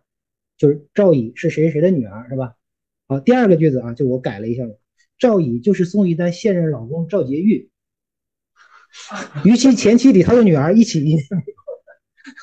这么断句的啊，我我念出来大家就就好懂了对吧？啊，如果不这样念的话，你要要要来回扫几遍，大概才能搞明白啊。所以这个他也是有点困难。啊，下面这个呃，可能时间比较，呃，时间。有点可能有点超了啊！这个语言游戏规则呢就是这样，我我我是我杜撰了一个语言游戏啊，就就是呃，当然这也是以前我跟别人聊天的时候瞎聊聊到的内容啊，就就是它里面中文这个定语从句啊太不好了，缺中文缺个 that 和 who 这样的关系词啊，如果我加了这样关系词的话，会解决很多歧义的问题啊。所以呢，他喜欢会跳舞的女孩子呢，最好能写成这样，就他喜欢女孩子会会跳舞，就是我跟你们讲，你们都知道这个游戏对吧？那就这样就啊，然后我然后要故意，然后加了一点什么呢？昨天摔破的花瓶，今天神奇的复原了。就花瓶 that 昨天摔破，今天神奇的复原了。因为这样的话，我想让它区别一下指人的和指物的这两个词，它看看它有没有有没有反应啊？当然这个规则可能介绍的还是太少了，可能需要多介绍一点啊，但是就没有介绍那么多。所以就如果采纳上面的规则，那下面的句子应该怎么改写啊？昨天买到了他早就想买的花瓶。总统接见了赢得奖杯的运动员，就是这样的一些例子。就是我看看他他会不会玩这样的语言游戏啊？呃，这个是可以测试他的推理规则的能力的啊。那么当然他没有表现出，因为这种应该是语料中是很难训练到的，对吧？嗯，他当然就表现不好了啊。所以这个都是不行的啊。对我就我在我在努力的呃让他理解我的意图啊，但是他一直没有理解。嗯，好，呃。我很快的过一下啊，分词词性标注就不看了啊。啊，这个也是句法结构分析，也是我比较爱举的一些例子啊。这这都是我平时上课用过的例子，我来测的啊。这个这个厉害了啊，这个是最厉害的一个啊，这个是我们这个是我们这个 task 三的标注的一段语料啊。警探化妆成亚洲来的旅客，拖着大行李箱啊，愣头傻脑步呃脑啊步出机场，一副呆子模样。计程车司机见猎欣喜，把乘客载上车，问去何处。乘客一句英语也不通，只拿出一张纸条，上面写着那个停车场地址。于是司机大乐，就从东到西，由南向北乱绕一气，最后抵达，车价总是一两百元。开进停车场，向乘客乘客索要天价时，乘客出示的却是警徽，而两边已有四五个持枪的警察围了上来。呃，好懂是吧？就是反正有个人。钓鱼是吧？警察钓鱼执法，对吧？警察警察钓鱼执法，就是那个出租车那个黑车司机就那个想想多挣点钱，就拉着他一顿乱跑。然后我就问他，这段话中乘客乘车的目的是什么？谁向乘客索要天价？天价是多少？为什么会天价？他答的这个非常好啊，答的一点问题都没有。所以你看到这样的回答，你一定会很震惊的，是吧？这是这可是机器理解回答的。嗯，这段话中乘客乘车的目的是搜集情报和。展开行动，当然有点添油加醋啊，这一大堆，但是主要意思是没错的啊。这化妆成亚洲来的旅客，拖着大行李箱等等等等等等啊。好，好，下面就是一段这些对话，这些对话都是就是按照普通人的那种思维，就是看看他怎么理解这这段话的意思的啊。那他都是答的不错的。好，下面我就开始语言学家出场了啊。语言学家出来了啊！如果你知道如何完成语义角色标注任务，请识别出这段话中的动词以及每个动词的论元，并指出每个论元的语义角色。好，哎，让他干点语言学的活，对吧？好了，他的形式能力有多强？他马上打印出一个表格出来，他直接打印出一个表格啊！动词、论元、语义角色 啊！这个 抱歉，我们稍微拖 几分钟啊，这个。当然，你一看就知道都是错的啊，好多乱七八糟的，就是，嗯，好了，这个时间的关系呢，我们就这个可以，呃，选课的同学回头我把这个这个朱同学帮我分可以分享一下，没问题啊。对，我们就不呃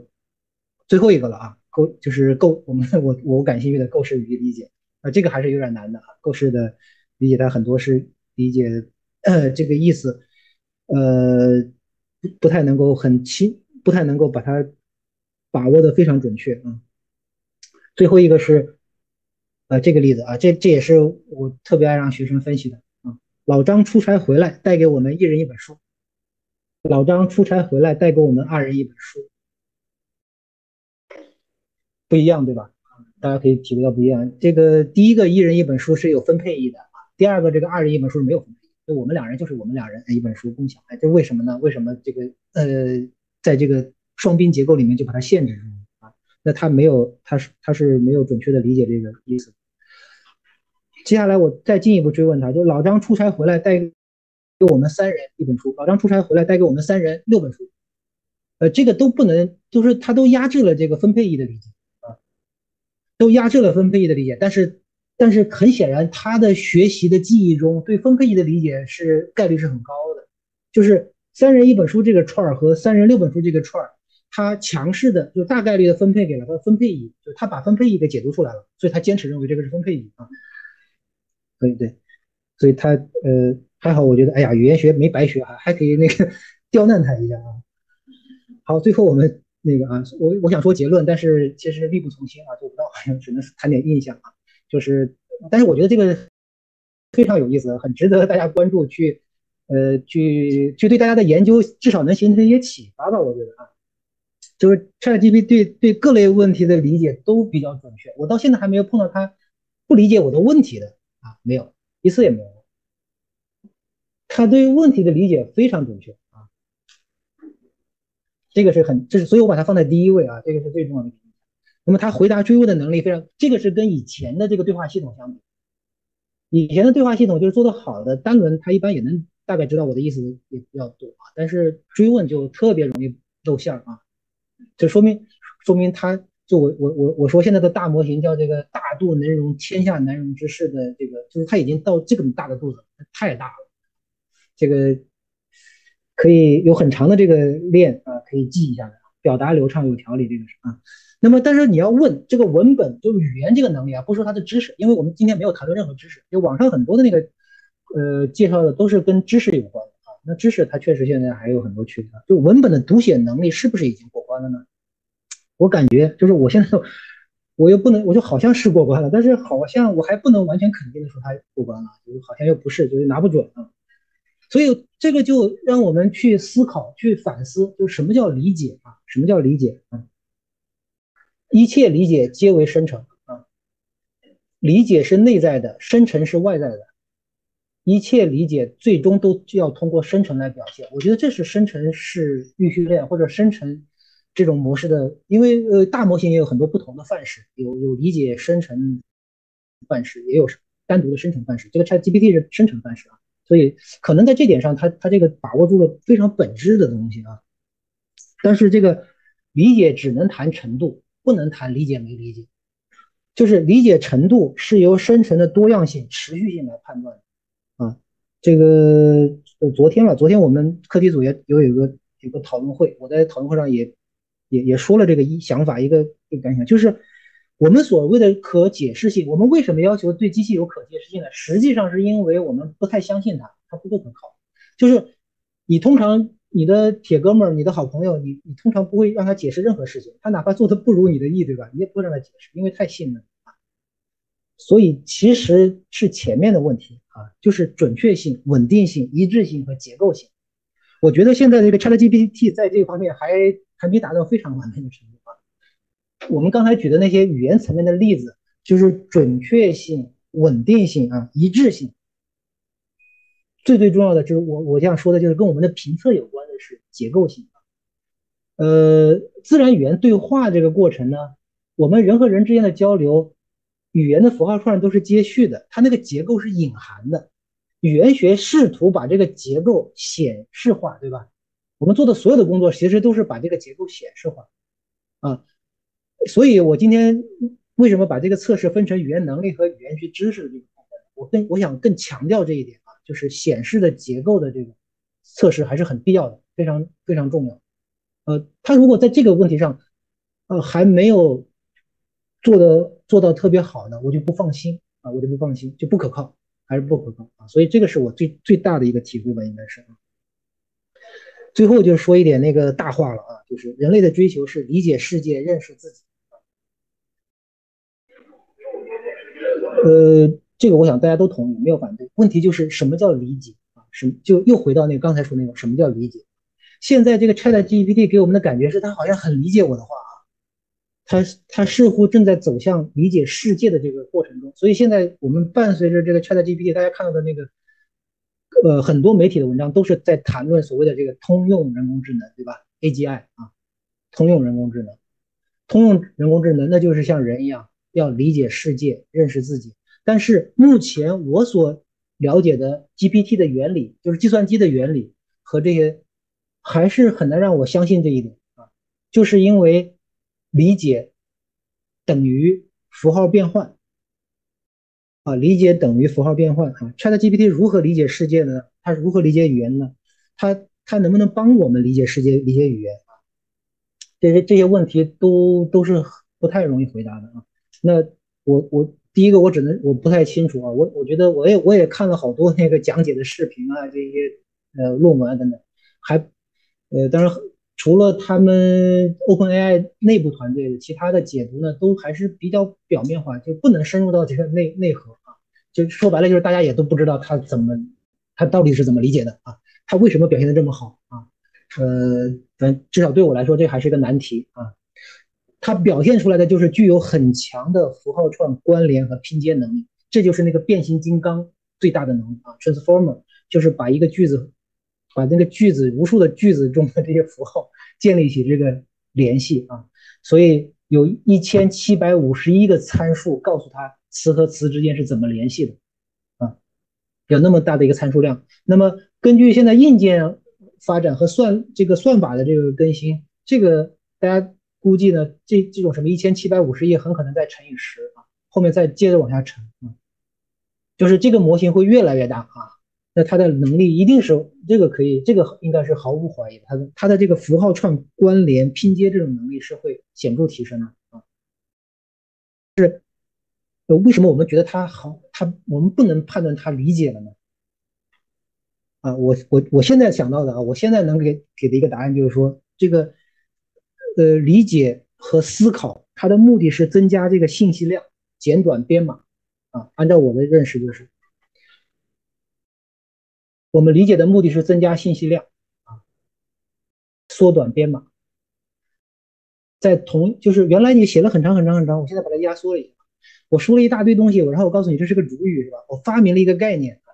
把这个东西压缩了一下，打了个包啊，这是人的思考能力的一个表现，一个一个理解的一个表现啊。呃，表现出来是思考能力等于符号变换的能生成能力，但是是不是这样呢？我们没有人能够回答这个问题，没有人能回答这个问题。但是呃，至至少我觉得值得警惕啊。就是我们要区分符号变换的这个能力和我们人所能够体会的感受的那种思考能力啊，呃，但是我这是应该这个承认啊，我现在我自己还是分不清这两个。我看到了这个 ChatGPT 的这个强大的这个符号变换能力，我产生的感觉就是哇，它好像在思考，